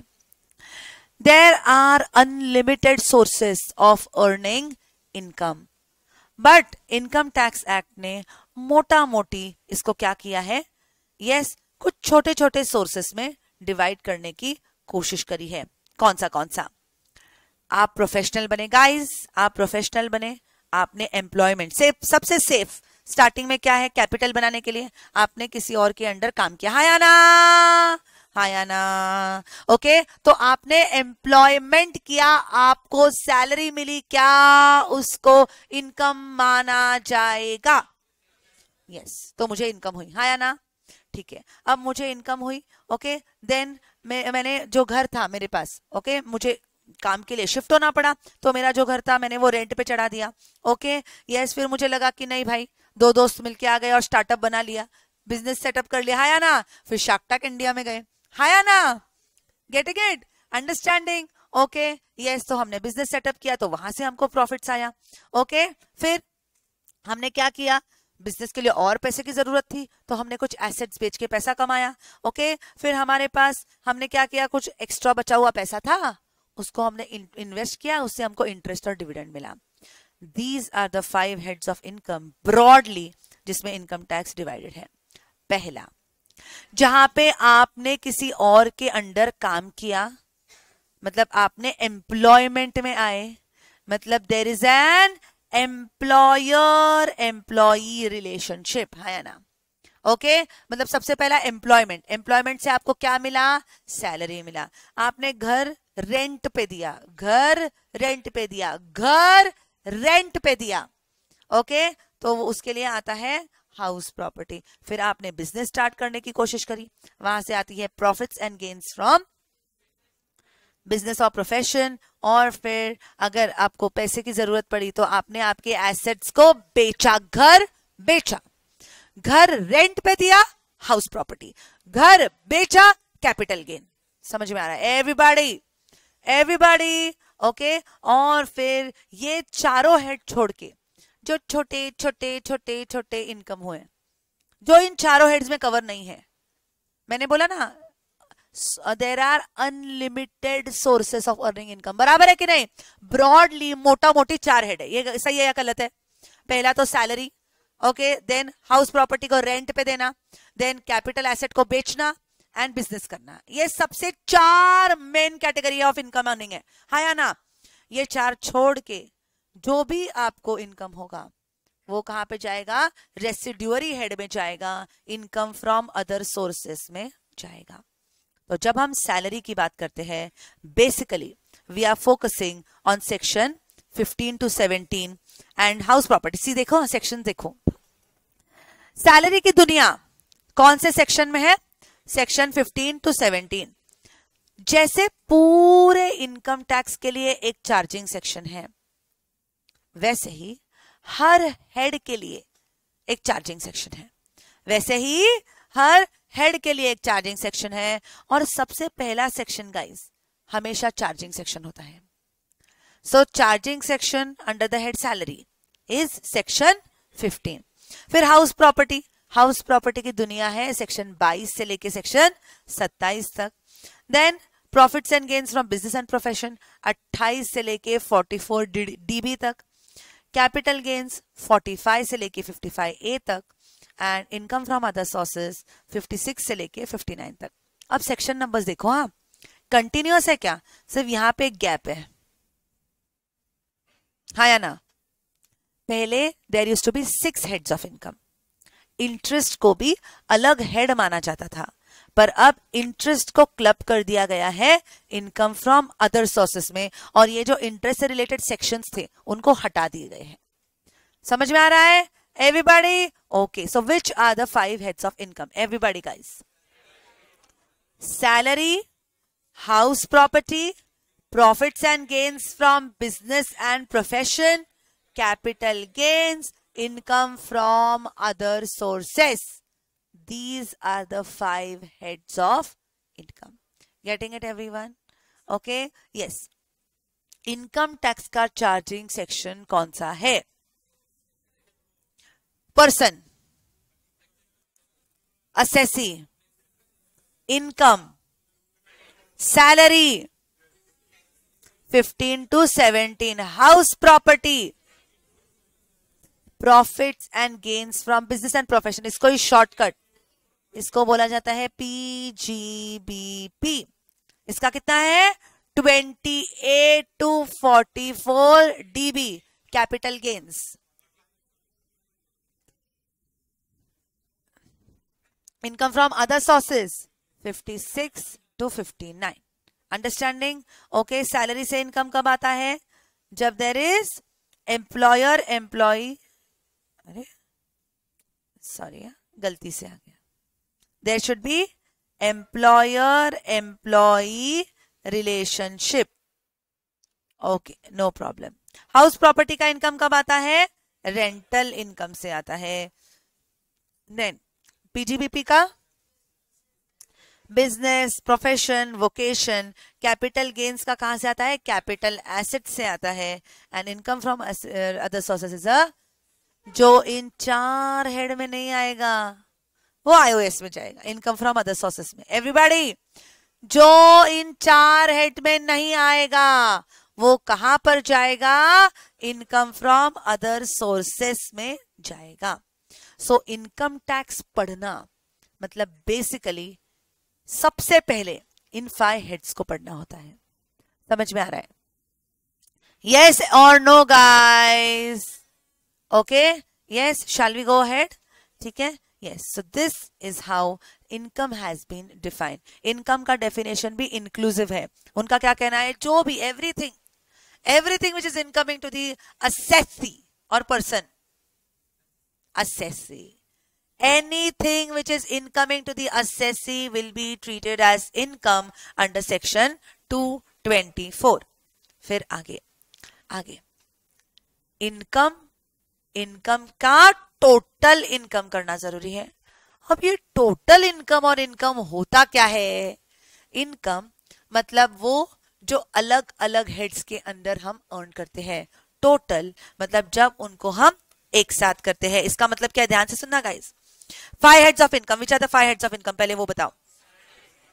Income from salaries income from house property profits and gains from business and profession capital gains income from other sources ध्यान से सुनना गाइस इन पाँचों इनकम का, पाँचों हेड्स ऑफ़ इनकम का इनकम जब हम ऐड करेंगे, तब आएगा, नहीं नहीं नहीं नहीं नहीं नहीं gross total income gross total income आया। फिर चार्जिंग सेक्शन बोलता है, अगर ग्रॉस टोटल इनकम आया ओके इनकम आया तो आपको टैक्स पे करना पड़ेगा। बट गवर्नमेंट अपने पे रहम करती है। इनकम टैक्स डिपार्टमेंट अपने ऊपर रहम करता है और इनकम टैक्स डिपार्टमेंट बोलता है, कोई बात नहीं, हम भी समझते हैं। आप इतना मेहनत पैसे बचाने के लिए कर रहे हो टैक्स पे करने के लिए थोड़ी कर रहे हो। बराबर है ना? तो हम भी आपको जो इन्वेस्टमेंट्स बोलते हैं, वहाँ पे आप पैसा डालो ना। वहाँ पे आप पैसा डालो ना तो हम आपको डिडक्शन देंगे। तो उतना आपका टोटल इनकम कम हो जाएगा। सी गाइस गाइस गवर्नमेंट क्या बोलता है? इनकम टैक्स डिपार्टमेंट क्या बोलता है? अपने प्रधानमंत्री, अपने फाइनेंस मिनिस्टर आके बोलते हैं और बोलते हैं, मित्रों ओके? जन धन योजना। बराबर है? पैसा इन्वेस्ट करो। ओके? पैसा इन्वेस्ट करो। एक एग्ज़ाम्पल दे रही हूँ मैं, ओके? ताकि आपको समझ में आए। जन धन योजना में पैसा डालो। उस पैसे से क्या होगा? यस समृद्धि सुकन्या योजना। आपको अगर बेटी है तो उसके लिए आज से पैसे साइड में करो।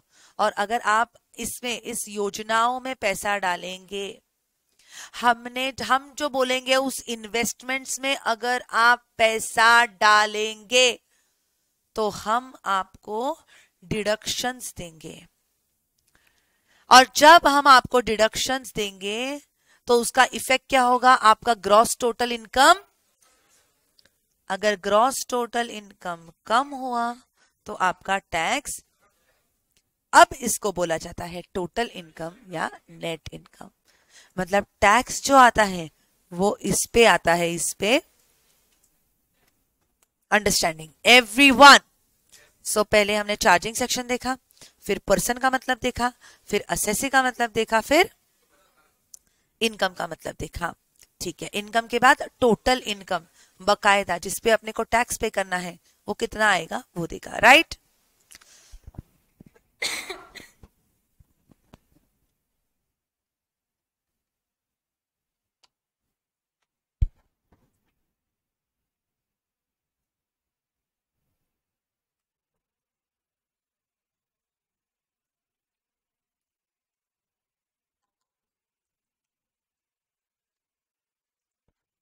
Mridul is asking ma'am expenditure कहाँ डिडक्ट होगा? तुम काहे इतना आगे आगे भाग रहे हो भाई? Let us go with the flow धीरे धीरे समझो। फिर हर हेड को समझेंगे। तब उसके एक्सपेंडिचर की डिस्कशन वहाँ पर होगी ना। अभी जब हम फोकस ही इनकम पे कर रहे हैं तो एक्सपेंडिचर क्यों आएगा? इस हर हेड ऑफ़ इनकम पे हमको डिस्कस करना है डिटेल में। जो एक्सप्लेनेशन है, आप एक बार उस पर फोकस करो। सारे डाउट्स आपके क्लियर होंगे। हर हेड मैं बता रही हूँ ना income from salary in PGBP capital gains इतना लंबा इतना बड़ा है जहाँ पे हर एक्सपेंडिचर के बारे में डिटेल में बात करी गई है। आप थक जाओगे पर वो हेड्स खत्म नहीं होंगे। Getting it okay yes okay yes अब चलते हैं आगे। सो so, सो so, ध्यान से सुनना गाइस मैम ने बोला every person is an assessee person को इनकम होना चाहिए. इनकम को भी हम टोटल इनकम लेंगे. पर पर पर मैम सुनो ना. मुझे इस एम्प्लॉयमेंट में ज्वाइन होके तीन साल हो गए. और तीन साल से मुझे हर साल मेरी सैलरी मिलती है. हर महीने ही मुझे सैलरी मिलती है इन शॉर्ट हाँ या ना?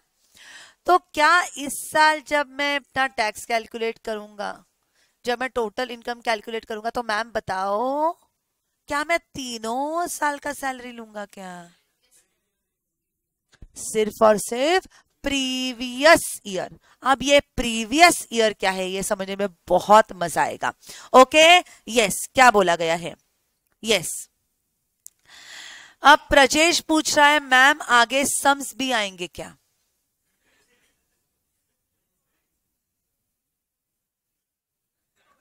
आप बताओ जहाँ पे इनकम है, जहाँ पे टैक्स है, जहाँ पे इतना सारा कैलकुलेशन है, क्या प्रॉब्लम्स के बिना आपने को समझ में आने वाला है?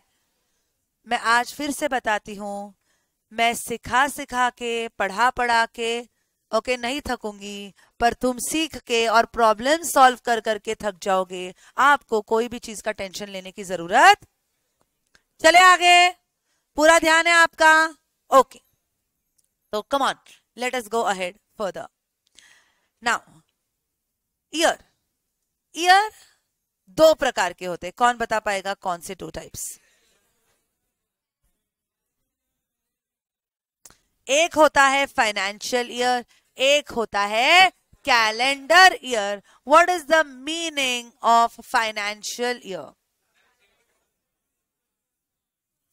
first April to thirty first March उसको फाइनेंशियल ईयर कहा जाता है। एंड कैलेंडर ईयर मतलब first January to thirty first December उसको क्या कहा जाता है? अब इनकम टैक्स पर्पजेस के लिए हम फाइनेंशियल ईयर फॉलो करते हैं या कैलेंडर ईयर तो मैं आपको बता दू it is financial year so अपना साल हमेशा फ़र्स्ट अप्रैल से स्टार्ट होगा। और थर्टी फ़र्स्ट मार्च तक खत्म होगा। ओके, अब मुझे बात बताओ। अगर मेरा साल फ़र्स्ट अप्रैल 21 से स्टार्ट हुआ है और थर्टी फ़र्स्ट मार्च 22 को खत्म हुआ है, ध्यान से गाइस फ़र्स्ट अप्रैल 22 से स्टार्ट हुआ है और फ़र्स्ट थर्टी फ़र्स्ट मार्च 23 को खत्म हुआ। नहीं, मैंने कुछ अलग बोला वेट ओके अगर मेरा साल फ़र्स्ट अप्रैल 21 से स्टार्ट हुआ और थर्टी फ़र्स्ट मार्च 22 को खत्म हुआ तो इस साल को मैं कौन सा साल बोलूँगी? It will be known as the year 2122 समझ में आ रहा है? ठीक है। फ़र्स्ट अप्रैल 21 से थर्टी फ़र्स्ट मार्च 22 तो इस साल को हम क्या कहेंगे? हम इसको 21 22 कहेंगे। समझ में आ रहा है? अब अगर ये 22 से स्टार्ट होता और 23 को खत्म होता तो 22 23 23 से स्टार्ट होता 24 तक खत्म होता तो यहाँ पर मुझे नहीं लगता किसी को कोई डाउट होना चाहिए। ओके यस अब आगे चलते हैं। मानो मानो अगर ये एग्ज़ाम्पल समझ लो तो प्रीवियस ईयर असेसमेंट ईयर में आपको कभी भी दिक्कत नहीं होगी। ठीक है। अब यूजुअली साल स्टार्ट होता है फ़र्स्ट अप्रैल 22 को। ठीक है। ओके और खत्म होता है थर्टी फ़र्स्ट मार्च 23 अब अब अब। सवाल निकल के ये आता है कि जैसे कि मैंने बोला कि डायरेक्ट टैक्सेस में ओके यस डायरेक्ट टैक्सेस में आपको, आपका जो अभी अटेम्प्ट है उसके लिए आपको कौन सा पीवाई और कौन सा एवाई एप्लीकेबल है? तो यह पीवाई जो आपको एप्लीकेबल है वो है ट्वेंटी टू ट्वेंटी थ्री तो आपका साल कब स्टार्ट होगा? वन फोर ट्वेंटी टू और कब खत्म होगा? Thirty first March twenty three यहाँ पर किसी को कोई डाउट नहीं. ठीक है. अब आगे. अगला साल जो स्टार्ट होगा वो फ़र्स्ट अप्रैल 23 को स्टार्ट होगा और thirty first March twenty four को खत्म होगा।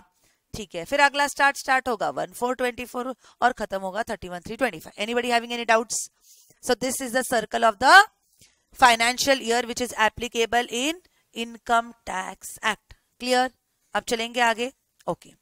ध्यान से सुनना गाइस यस अब हुआ क्या? हुआ क्या?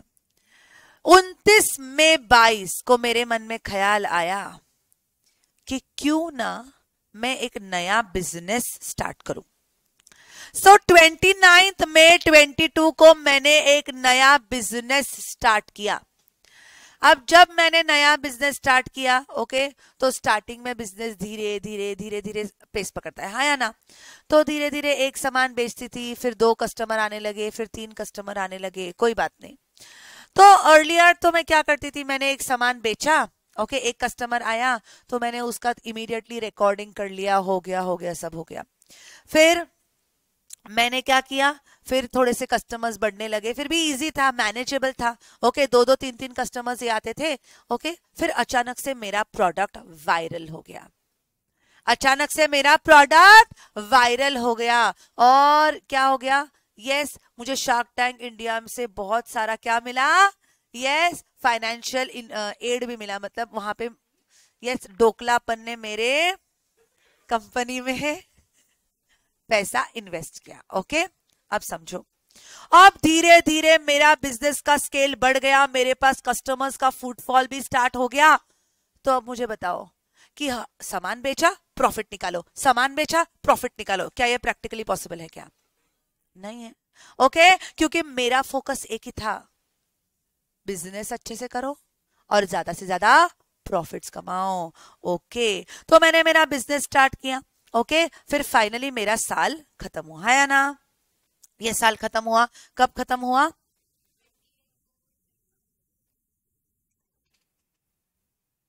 ट्वेंटी एट फोर कैसे हाँ? एग्जैक्टली माई क्वेश्चन अब यहाँ पे हमने कौन सा साल अपनाया है as financial year first April to thirty first March तो even if I set up my business on thirty March even if I set up my business on thirty March वो बिज़नेस एक, एक दिन का माना जाएगा। ओके okay, समझ में आया? तो कंपलसरी इस बिज़नेस का पहला साल खत्म होगा ऑन आगे आने वाला thirty first March anybody having any doubts anybody having any doubts अगर मैं हर बिज़नेस के एक साल के लिए डेट्स अलग अलग दू तो मैं अमेंडमेंट्स कैसे एप्लीकेबल करूँगी? इनकम टैक्स डिपार्टमेंट के पॉइंट ऑफ़ व्यू से सोचो। बराबर है कि नहीं? बराबर है? तो उनका क्या कहना है यहाँ पे? उनका क्या कहना है? आपने 29 मई को बिज़नेस स्टार्ट किया 22 आपके आने वाले 31 मार्च को आपका पहला साल खत्म होगा। अब आपका साल खत्म हुआ मार्च एंडिंग हुआ मार्च एंडिंग हुआ तो उस साल के सारे के सारे ट्रांजेक्शन खत्म हुए। ओके? अब आगे क्या होता है? मार्च एंडिंग के बाद आप लोग क्या करते हो? यस yes, आप क्या करते हो? सबसे पहले तो आप बुक्स ऑफ़ अकाउंट्स को फाइनलाइज करते हो। जो भी पेंडिंग बिल्स है, सब है सब है, उसका अकाउंटिंग करने की कोशिश करते हो। हाँ या ना? बराबर है? सो बुक्स ऑफ़ अकाउंट्स को पहले फाइनलाइज किया जाता है। बराबर है कि नहीं? फिर एक्सपेंसेस प्रॉफिट्स को फाइनलाइज किया जाता है। सारे एक्सपेंसेस का अकाउंटिंग हुआ है क्या? बराबर है कि नहीं? यस सब कुछ अच्छे से किया जाता है। हाँ या ना? फिर पहले बुक्स ऑफ़ अकाउंट्स फाइनलाइज होते हैं प्रॉफिट्स फाइनलाइज होते हैं। मतलब यहाँ पे आपका इनकम फाइनलाइज हुआ। और फिर उसके बाद आप बुक्स का ऑडिट करवाते हो अगर एप्लीकेबल है तो नहीं तो फिर टैक्स पे करते हो हाँ या ना? सो so, समझने की कोशिश करो। सो so, अगले अब 31 मार्च हो गया। मेरा वो साल वहाँ पे खत्म हो गया। ओके तो मैंने पाँच चार को क्या किया? जो भी पेंडिंग बिल्स से फटाफट अकाउंटिंग करो और बुक्स ऑफ़ अकाउंट्स को मैंने फाइनलाइज कर दिया। ओके फिर पाँच मई को एक महीने का समय लेके मैंने प्रॉफिट्स भी फाइनलाइज कर दिए क्योंकि प्रॉफिट्स करेक्ट होने चाहिए। तो अभी तो टैक्स करेक्ट होगा। हाँ या ना? ठीक है। और फिर उसके बाद मैंने क्या किया गाइस उसके बाद पाँच जून को फाइनली मैंने क्या कर दिया? गवर्नमेंट को जो टैक्स पे करना था, वो टैक्स पे कर दिया। यहाँ पर किसी को कोई डाउट्स यहाँ पर किसी को कोई डाउट्स अब ध्यान से सुनना गाइस मतलब इनकम मैंने इस साल अर्न करी और टैक्स मैंने कब पे किया गाइस इस साल मैंने टैक्स पे किया। इनकम अर्न करी मैंने 22 23 साल में। हाँ या ना? इनकम अर्न करी मैंने 22 23 साल में, पर टैक्स मैंने पे किया 23 24 साल में। हाँ या ना? एवरीबॉडी बराबर है? प्रैक्टिकली ऐसा पॉसिबल है? हाँ प्रैक्टिकली यही तो होता है। जब तक हमको हमारे प्रॉफिट ही फाइनलाइज नहीं होंगे, हम गवर्नमेंट को टैक्स क्या पे करेंगे? हाँ या ना? Everybody everybody okay so income is earn in this year and tax is paid in the next year so income the year in which income is earn is known as and income in which tax is paid year in which tax is paid is known as anybody having any किसी को कोई doubt guys logic भी मैंने आपको साथ साथ बता दिया कि क्यों इनकम एक साल में अर्न करते हैं पर उसके ऊपर टैक्स हम अगले साल में पे करते हैं। Understanding hundred percent everyone okay ठीक है। ठीक है। अब अब, ध्यान से सुनना, जो मैं आगे बताने जाने वाली हूँ। ठीक है इसके ऊपर आगे पूरा की पूरा चैप्टर है बट जैसे मैंने बोला कि टीडीएस है एडवांस टैक्स है इन टॉपिक का रेफरेंस हर चैप्टर में आएगा। तो हर चैप्टर में आपके सामने फिर क्या हो जाएगा? क्वेश्चन मार्क आएगा कि मैम ये टीडीएस मतलब क्या? ओके okay, यस yes, ये एडवांस टैक्स मतलब क्या? तो मैं थोड़ा सा हिंट जैसे टीडीएस का दिया वैसे एडवांस टैक्स का भी देती हूँ। मैं असेसी हूँ आप इनकम टैक्स डिपार्टमेंट हो। रेडी एवरीवन मैं असेसी हूँ। आप इनकम टैक्स डिपार्टमेंट हो। आपने मेरे कंधे पे बंदूक रखा है कि पीयूषा मैम टैक्स पे करो पीयूषा मैम टैक्स पे करो। बट पीयूषा मैम तो इतनी खुश थी। पीयूषा मैम तो इतनी खुश थी, उन्होंने जैसे ही इनकम अर्न किया, बस उड़ा दिया सब। सारा पैसा उड़ा दिया। इनकम मैंने इस साल अर्न किया था, सारा पैसा मैंने उड़ा दिया। और अगले साल जब टैक्स पे करने की बारी आई पैसा नहीं नो टैक्स नुकसान किसका? नुकसान किसका? आपका नुकसान है इसमें। बराबर है ना? अब अब, इसमें से इनकम टैक्स डिपार्टमेंट ने तरकीब निकाली। इनकम टैक्स डिपार्टमेंट ने तरकीब निकाली। इनकम टैक्स डिपार्टमेंट ने बोला, पीयूषा मैम, आप इतना बिज़नेस कर रहे हो तो आपको जजमेंट तो होगा ना? कि आप कितना माल बेचोगे या टेंटेटिव कितना इनकम ऑन करो एस्टिमेट तो कर सकते हो कि नहीं? हाँ या ना? सीधी बात है ना? जब मेरे पास पैसा ही एक करोड़ है तो मैं पाँच करोड़ का स्टॉक खरीद सकती हूँ क्या? कमान गाइस जब मैं पाँच करोड़ का स्टॉक ही नहीं खरीद सकती तो मैं पाँच करोड़ का माल बेच सकती हूँ क्या? तो ये कैलकुलेशन हर बिजनेसमैन के दिमाग में होता है ना कि टेंटेटिव उसके पास कितना वर्किंग कैपिटल है, जितना वर्किंग कैपिटल है, उतना बिज़नेस करेगा। हाँ या ना? तो उनका क्या कहना है? एक काम करते हैं। पीयूषा मैम, हमें डर है कि आप सारा पैसा उड़ा दोगे। सारा इनकम आप उड़ा दोगे और असेसमेंट ईयर में आप बोलोगे फिर नो पैसा नो टैक्स ऐसा नहीं चलेगा। एक काम करते हैं। पीयूषा मैम, हम बार बार आपको याद दिलाएँगे कि आपको टैक्स पे करना ज़रूरी है। तो इस साल आप क्या करो ना? ध्यान से सुनना गाइस आपका साल चालू हुआ मार्च से। मानो आपने बिज़नेस सेटअप किया कब? 29 मई से ओके हर तीन महीने बाद, आपने जितना टेंटेटिव टेंटेटिव टेंटेटिव पैसा कमाया है, वो एग्जैक्ट करो, बोल ही नहीं रहे। टेंटेटिव आपने जितना पैसा कमाया है ना, उतना थोड़ा थोड़ा टैक्स पे करते जाओ। ध्यान से सुनो गाइस ध्यान से सुनो। Do not get confuse between these two concept एक कॉन्सेप्ट ये है कि एक प्रीवियस ईयर है और इस प्रीवियस ईयर पे आपको असेसमेंट ईयर में टैक्स पे करना है। यहाँ पे किसी को कोई डाउट तो वो जो टैक्स आपको यस ये जो टैक्स मैंने पाँच जून को पे किया, ये मेरी फाइनल टैक्स लाइबिलिटी है। हाँ ना? क्योंकि यहाँ पे मेरे बुक्स ऑफ़ अकाउंट्स फाइनलाइज हो गए, यहाँ पे मेरे प्रॉफिट्स फाइनलाइज हो गए तो यहाँ पे मेरे टैक्स भी फाइनलाइज हो गए। हाँ या ना? हाँ या ना everybody so this is my final tax liability हाँ या ना? तो मैंने बकायदा कितना टैक्स पे करना है? ये कब पता चलेगा? असेसमेंट ईयर में पता चलेगा राइट यहाँ तक किसी को कोई डाउट पर आज प्रीवियस ईयर है और कल असेसमेंट ईयर है इनकम टैक्स डिपार्टमेंट को डर लगता है कि कल के साल आपने टैक्स नहीं पे किया तो क्या? इसलिए वो क्या बोलते हैं? इस साल है ना, थोड़ा थोड़ा थोड़ा थोड़ा आप टैक्स पे करो, उसको हम नाम देंगे एडवांस टैक्स एडवांस टैक्स। आप इस साल थोड़ा थोड़ा टैक्स पे करो, एडवांस टैक्स, फिर जब आपका अगले साल प्रॉफिट फाइनलाइज हो जाएगा ना। अगर आपने कम एडवांस टैक्स पे किया है तो जो बैलेंस है वो पे कर देना। अगर आपने ज़्यादा पे किया है तो हम आपको रिफंड कर देंगे। इसीलिए उन्होंने असेसी के डेफिनेशन में रिफंड वाले को भी इंक्लूड किया है। समझ में आया? एवरीबॉडी समझ में आया? ये समझना बहुत ज़रूरी है क्योंकि बच्चे कई बार समझ नहीं पाते। मैम आपने बोला था कि टैक्स तो असेसमेंट ईयर में देना है। अब आप इसी साल टैक्स मांग रहे हो। लॉजिक समझो। लॉजिक समझो क्या है? ओके okay, गवर्नमेंट बोलता है आपने तो इस साल पैसा कमा लिया। आपने इस साल पैसे के मज़े ले लिए और आप हमको टैक्स अगले साल दोगे। हमको भी तो देश चलाने के लिए पैसा चाहिए। इसलिए आप क्या करो? फाइनल टैक्स कितना रहेगा ना वो तो हम असेसमेंट ईयर में ही देखेंगे। पर आप थोड़ा थोड़ा हमें भी सरकाते जाओ टैक्स हमारा भी काम चलता है, आपका भी काम चलता है। समझ में आया? एवरीबॉडी ओके फिर this advance tax will then be cross checked with the assessment year में जब फाइनल टैक्स लाइबिलिटी आएगा ड्यू डेट जिसको ड्यू डेट बोलते हैं okay getting it everyone yes ठीक है, समझ में आ रहा है? Okay so come on come back to previous year and assessment year so previous year is the year in which income is earned. And assessment year is the year in which in, uh, income is taxed anybody having any doubts okay अब आगे अब आगे आगे आगे आगे previous year may or may not be equal to 12 months but assessment year is always equal to 12 months ऐसे कैसे सोचो सोचो सोचो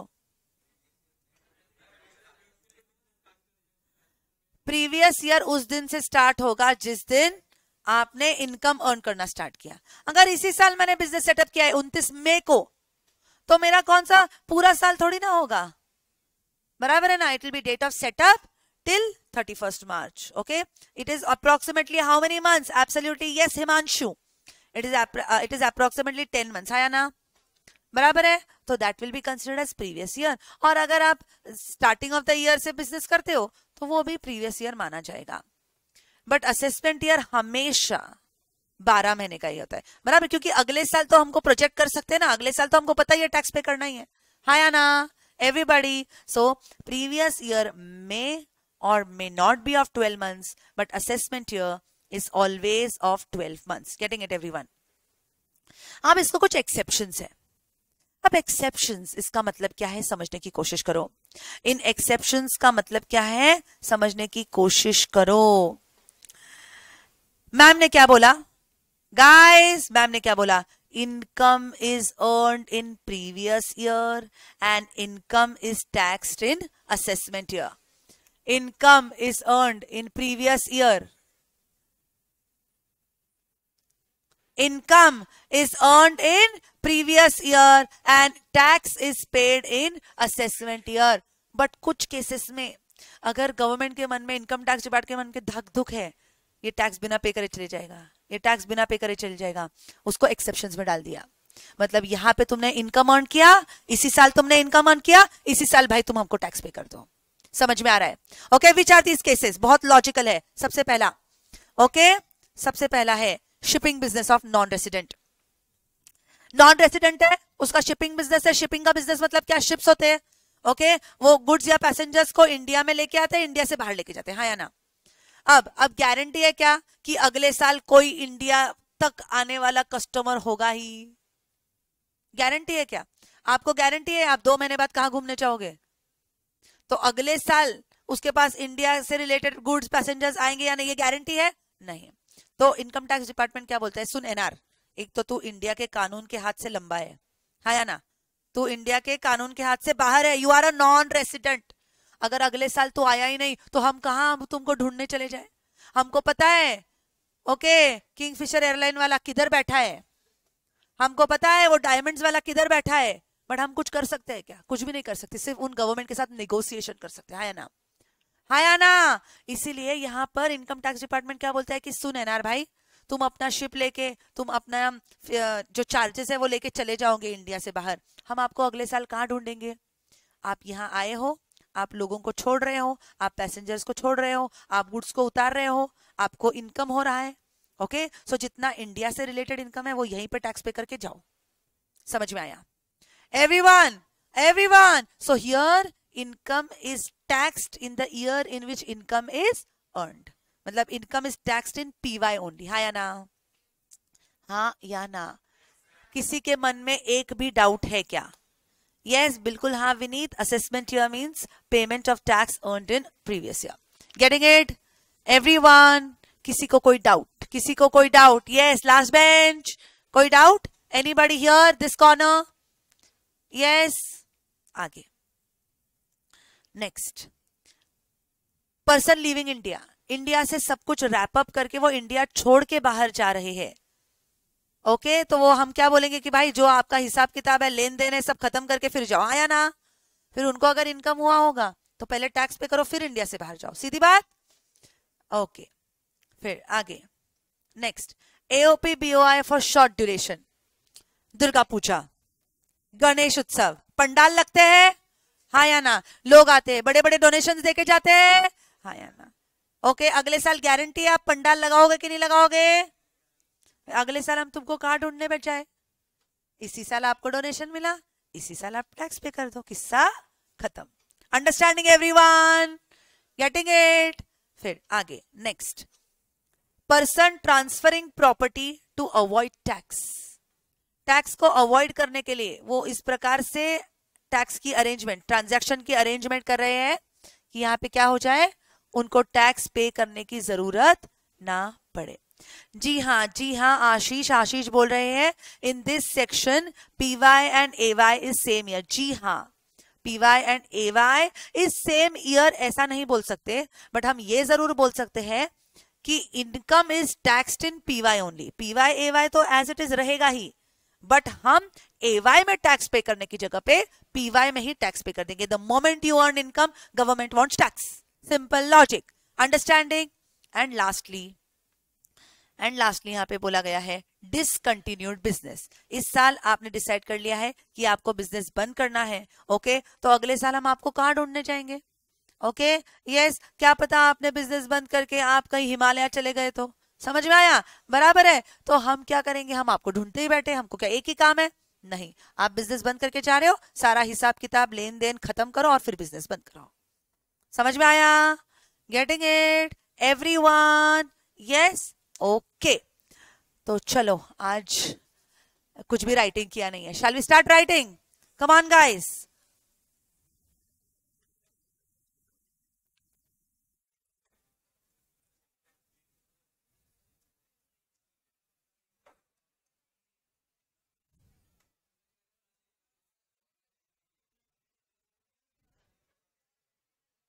Yes, guys, come on. Please take it down nicely, properly. इनको अगर मैं ऐसे ही पढ़ू तो बहुत ज़्यादा टेक्निकल हो जाएगा ओके इसलिए मैंने उसको थोड़ा सा धीरे धीरे बताया है। एग्जेम्पन फोर बताइए मतलब एक्सेप्शन फोर की बात कर रहे हैं आप। Person transferring property to avoid tax ठीक है मैं अभी आपको सिर्फ़ इतना बताऊँगी कि आपको टैक्स पे करना है। ओके okay, आपके हाथ में इनकम होगा आपको टैक्स पे करना पड़ रहा है इसलिए आपने अगर यस yes, किसी और के हाथ में प्रॉपर्टी को ट्रांसफ़र कर दिया तो इन कॉन्सेप्ट्स को और भी डिटेल में हम हर हेड ऑफ़ इनकम के अंडर देखेंगे। यस yes, विनीत बहुत मज़ा आ गया पढ़ के है ना? इंटरेस्टिंग है, है या नहीं? Tax interesting yes yes come on guys लिख के लीजिए अच्छे से these charts are going to help you a lot trust me अच्छे से प्रॉपर प्रेजेंटेशन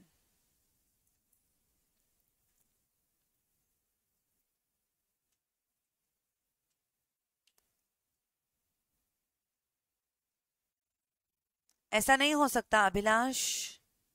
यस और किसी को थोड़ा ब्लर लग रहा है क्या स्क्रीन तो आप रिजॉइन करो मीटिंग लीव करके रिजॉइन करो।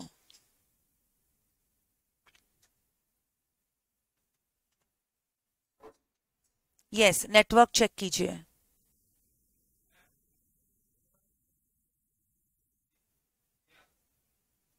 हम्म? हाँ हाँ हाँ। ओके ओके मैं कर देती हूँ, एक मिनट।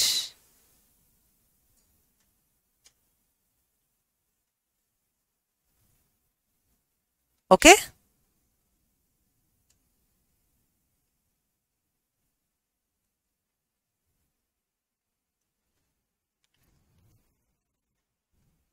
यस प्रियंका अरे टैक्स करते वक्त मैं बोल रही हूँ ना, आपको पता ही नहीं चलेगा। कि कब खत्म हो जाएगा अपना क्लास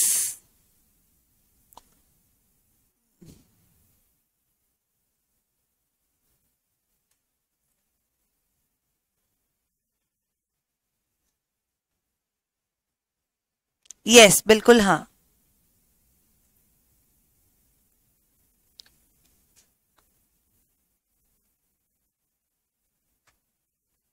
यस ऋतिक बिल्कुल हाँ।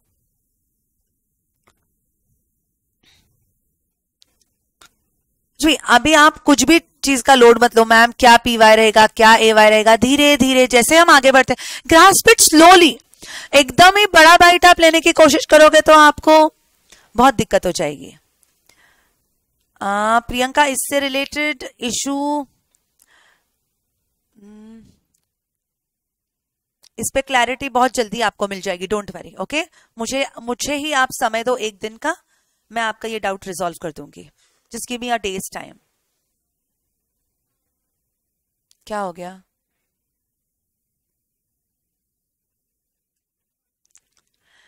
बट मैं आपको बता दूँ, मैं आपको बता दूँ फ़र्स्ट चैप्टर का पीडीएफ में आपको अवेलेबल कर दूँगी। बिल्कुल ही आप लोगों को किसी को भी पैनिक होने की ज़रूरत नहीं है। मैम बुक नहीं मिला बुक नहीं मिला, ग्यारह दिन हो गए, पंद्रह दिन हो गए। थोड़ा सा टाइम लगेगा वो बुक आप तक पहुँचने के लिए। ओके आपका काम ना रुके इसलिए हम आपको पीडीएफ अवेलेबल कर देंगे। यस यू सेइंग समथिंग पे other some S U M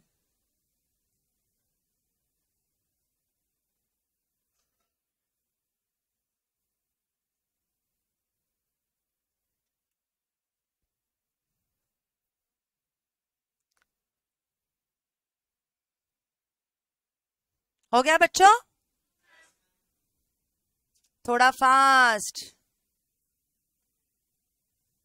ma'am concept आ रहे थे बट टाइम कम हुआ, ऐसा कभी भी नहीं होना चाहिए। इससे बड़ा रिग्रेट कुछ भी नहीं है। हाया ना?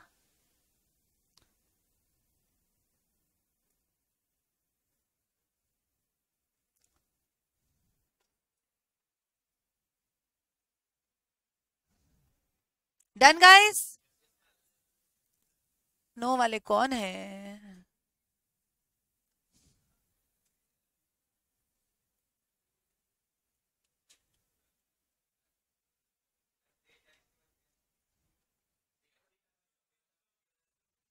पे अदर सम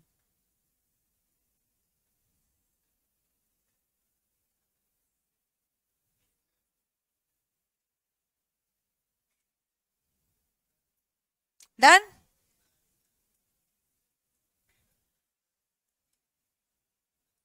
ड्राइंग करने की ज़रूरत नहीं है, वो छोड़ के आपको जो लिखना है सेक्शन नंबर्स वगैरह, वो आप लिख लीजिए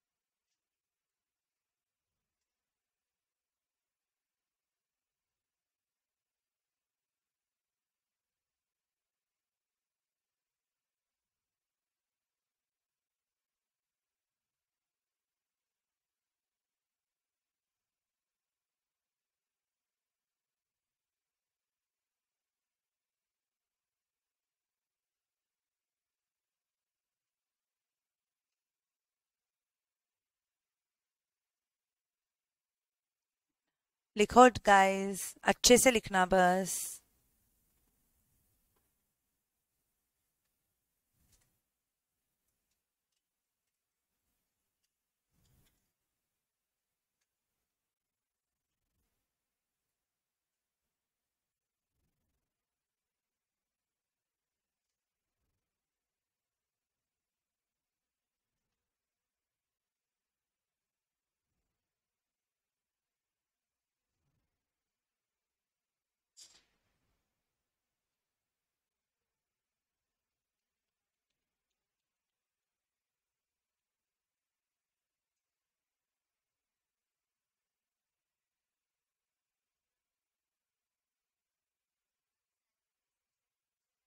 Employer employee relationship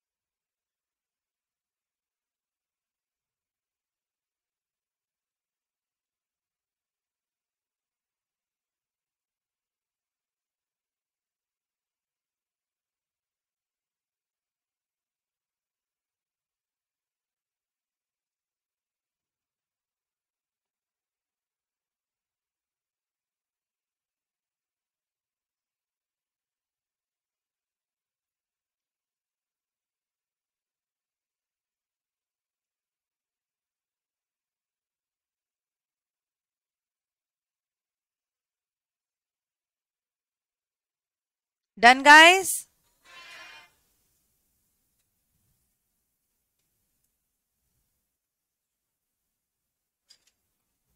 घर एम्प्लॉयर मत बनाते बैठना बच्चों।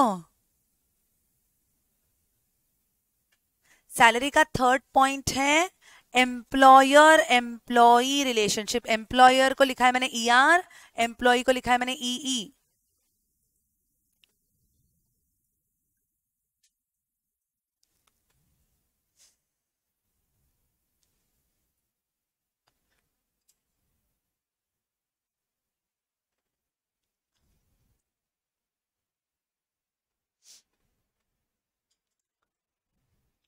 हाँ ये अपलोड होगा।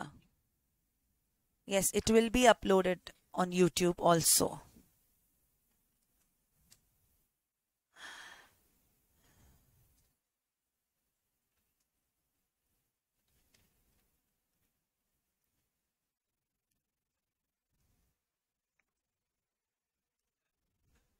done okay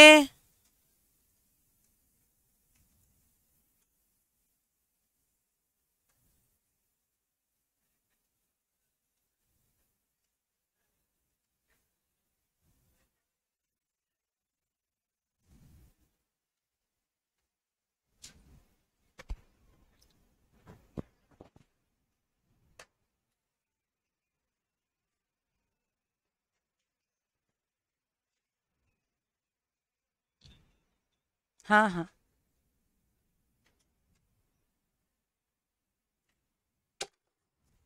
सॉरी हो गया बच्चों?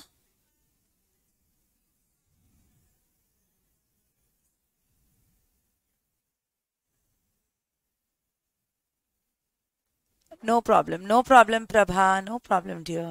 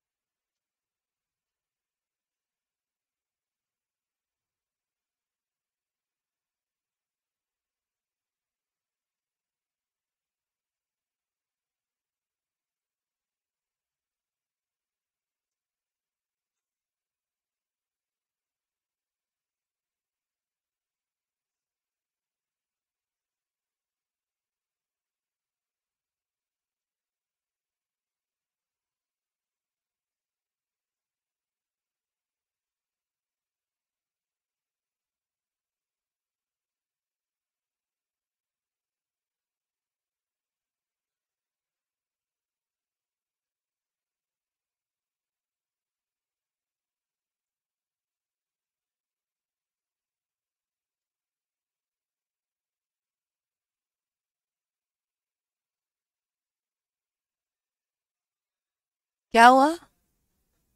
So sorry so sorry so sorry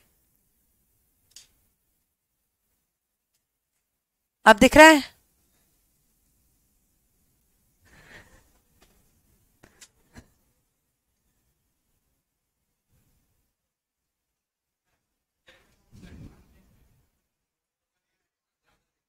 तो रिफंड हम्म उसको, उनको भी तो कुछ मोहलत दी जाती है। उतने टाइम तक रिफंड किया तो ठीक, नहीं उतने टाइम में गवर्नमेंट ने रिफंड किया तो इंटरेस्ट भी पे करता है। Six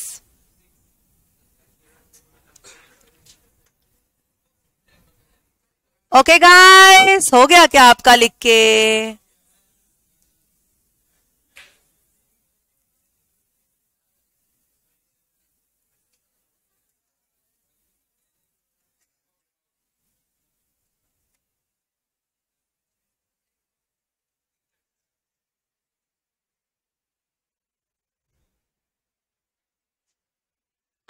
yes okay guys so कैसे लग रहा है टैक्स आपको? मज़ा आ रहा है? Okay yes so do not forget www.mepl.classes.com और अब से इसके आगे के सारे सेशंस अब यूट्यूब पे नहीं होंगे। Okay okay? और हाँ पर लेट मी टेल यू जो भी इंस्टीट्यूट से मटेरियल दिया जाएगा, फिर वो एमटीपी हो आरटीपी हो, कुछ नए केसेस हो, सारे के सारे डिस्कस होंगे अपने इस यूट्यूब चैनल पे, इसलिए इसको सब्सक्राइब करना मत भूलिएगा and also press the bell icon thank you so much Yashvi P Y A Y के नोट्स कल लिखेंगे। आगे का जो प्रीवियस ईयर है, वो कल लिखेंगे। Okay okay? यस क्योंकि अभी आज टाइम परमिट नहीं कर रहा है। आज हम पढ़ते गए पढ़ते गए टाइम का पता ही नहीं चला। कल हम लोग राइटिंग करेंगे। ओके गाइस चलो bye everyone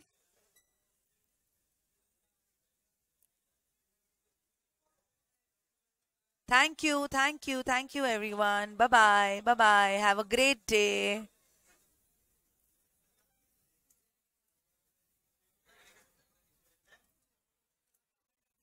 Thank you. Thank you, everyone. Bye. Bye.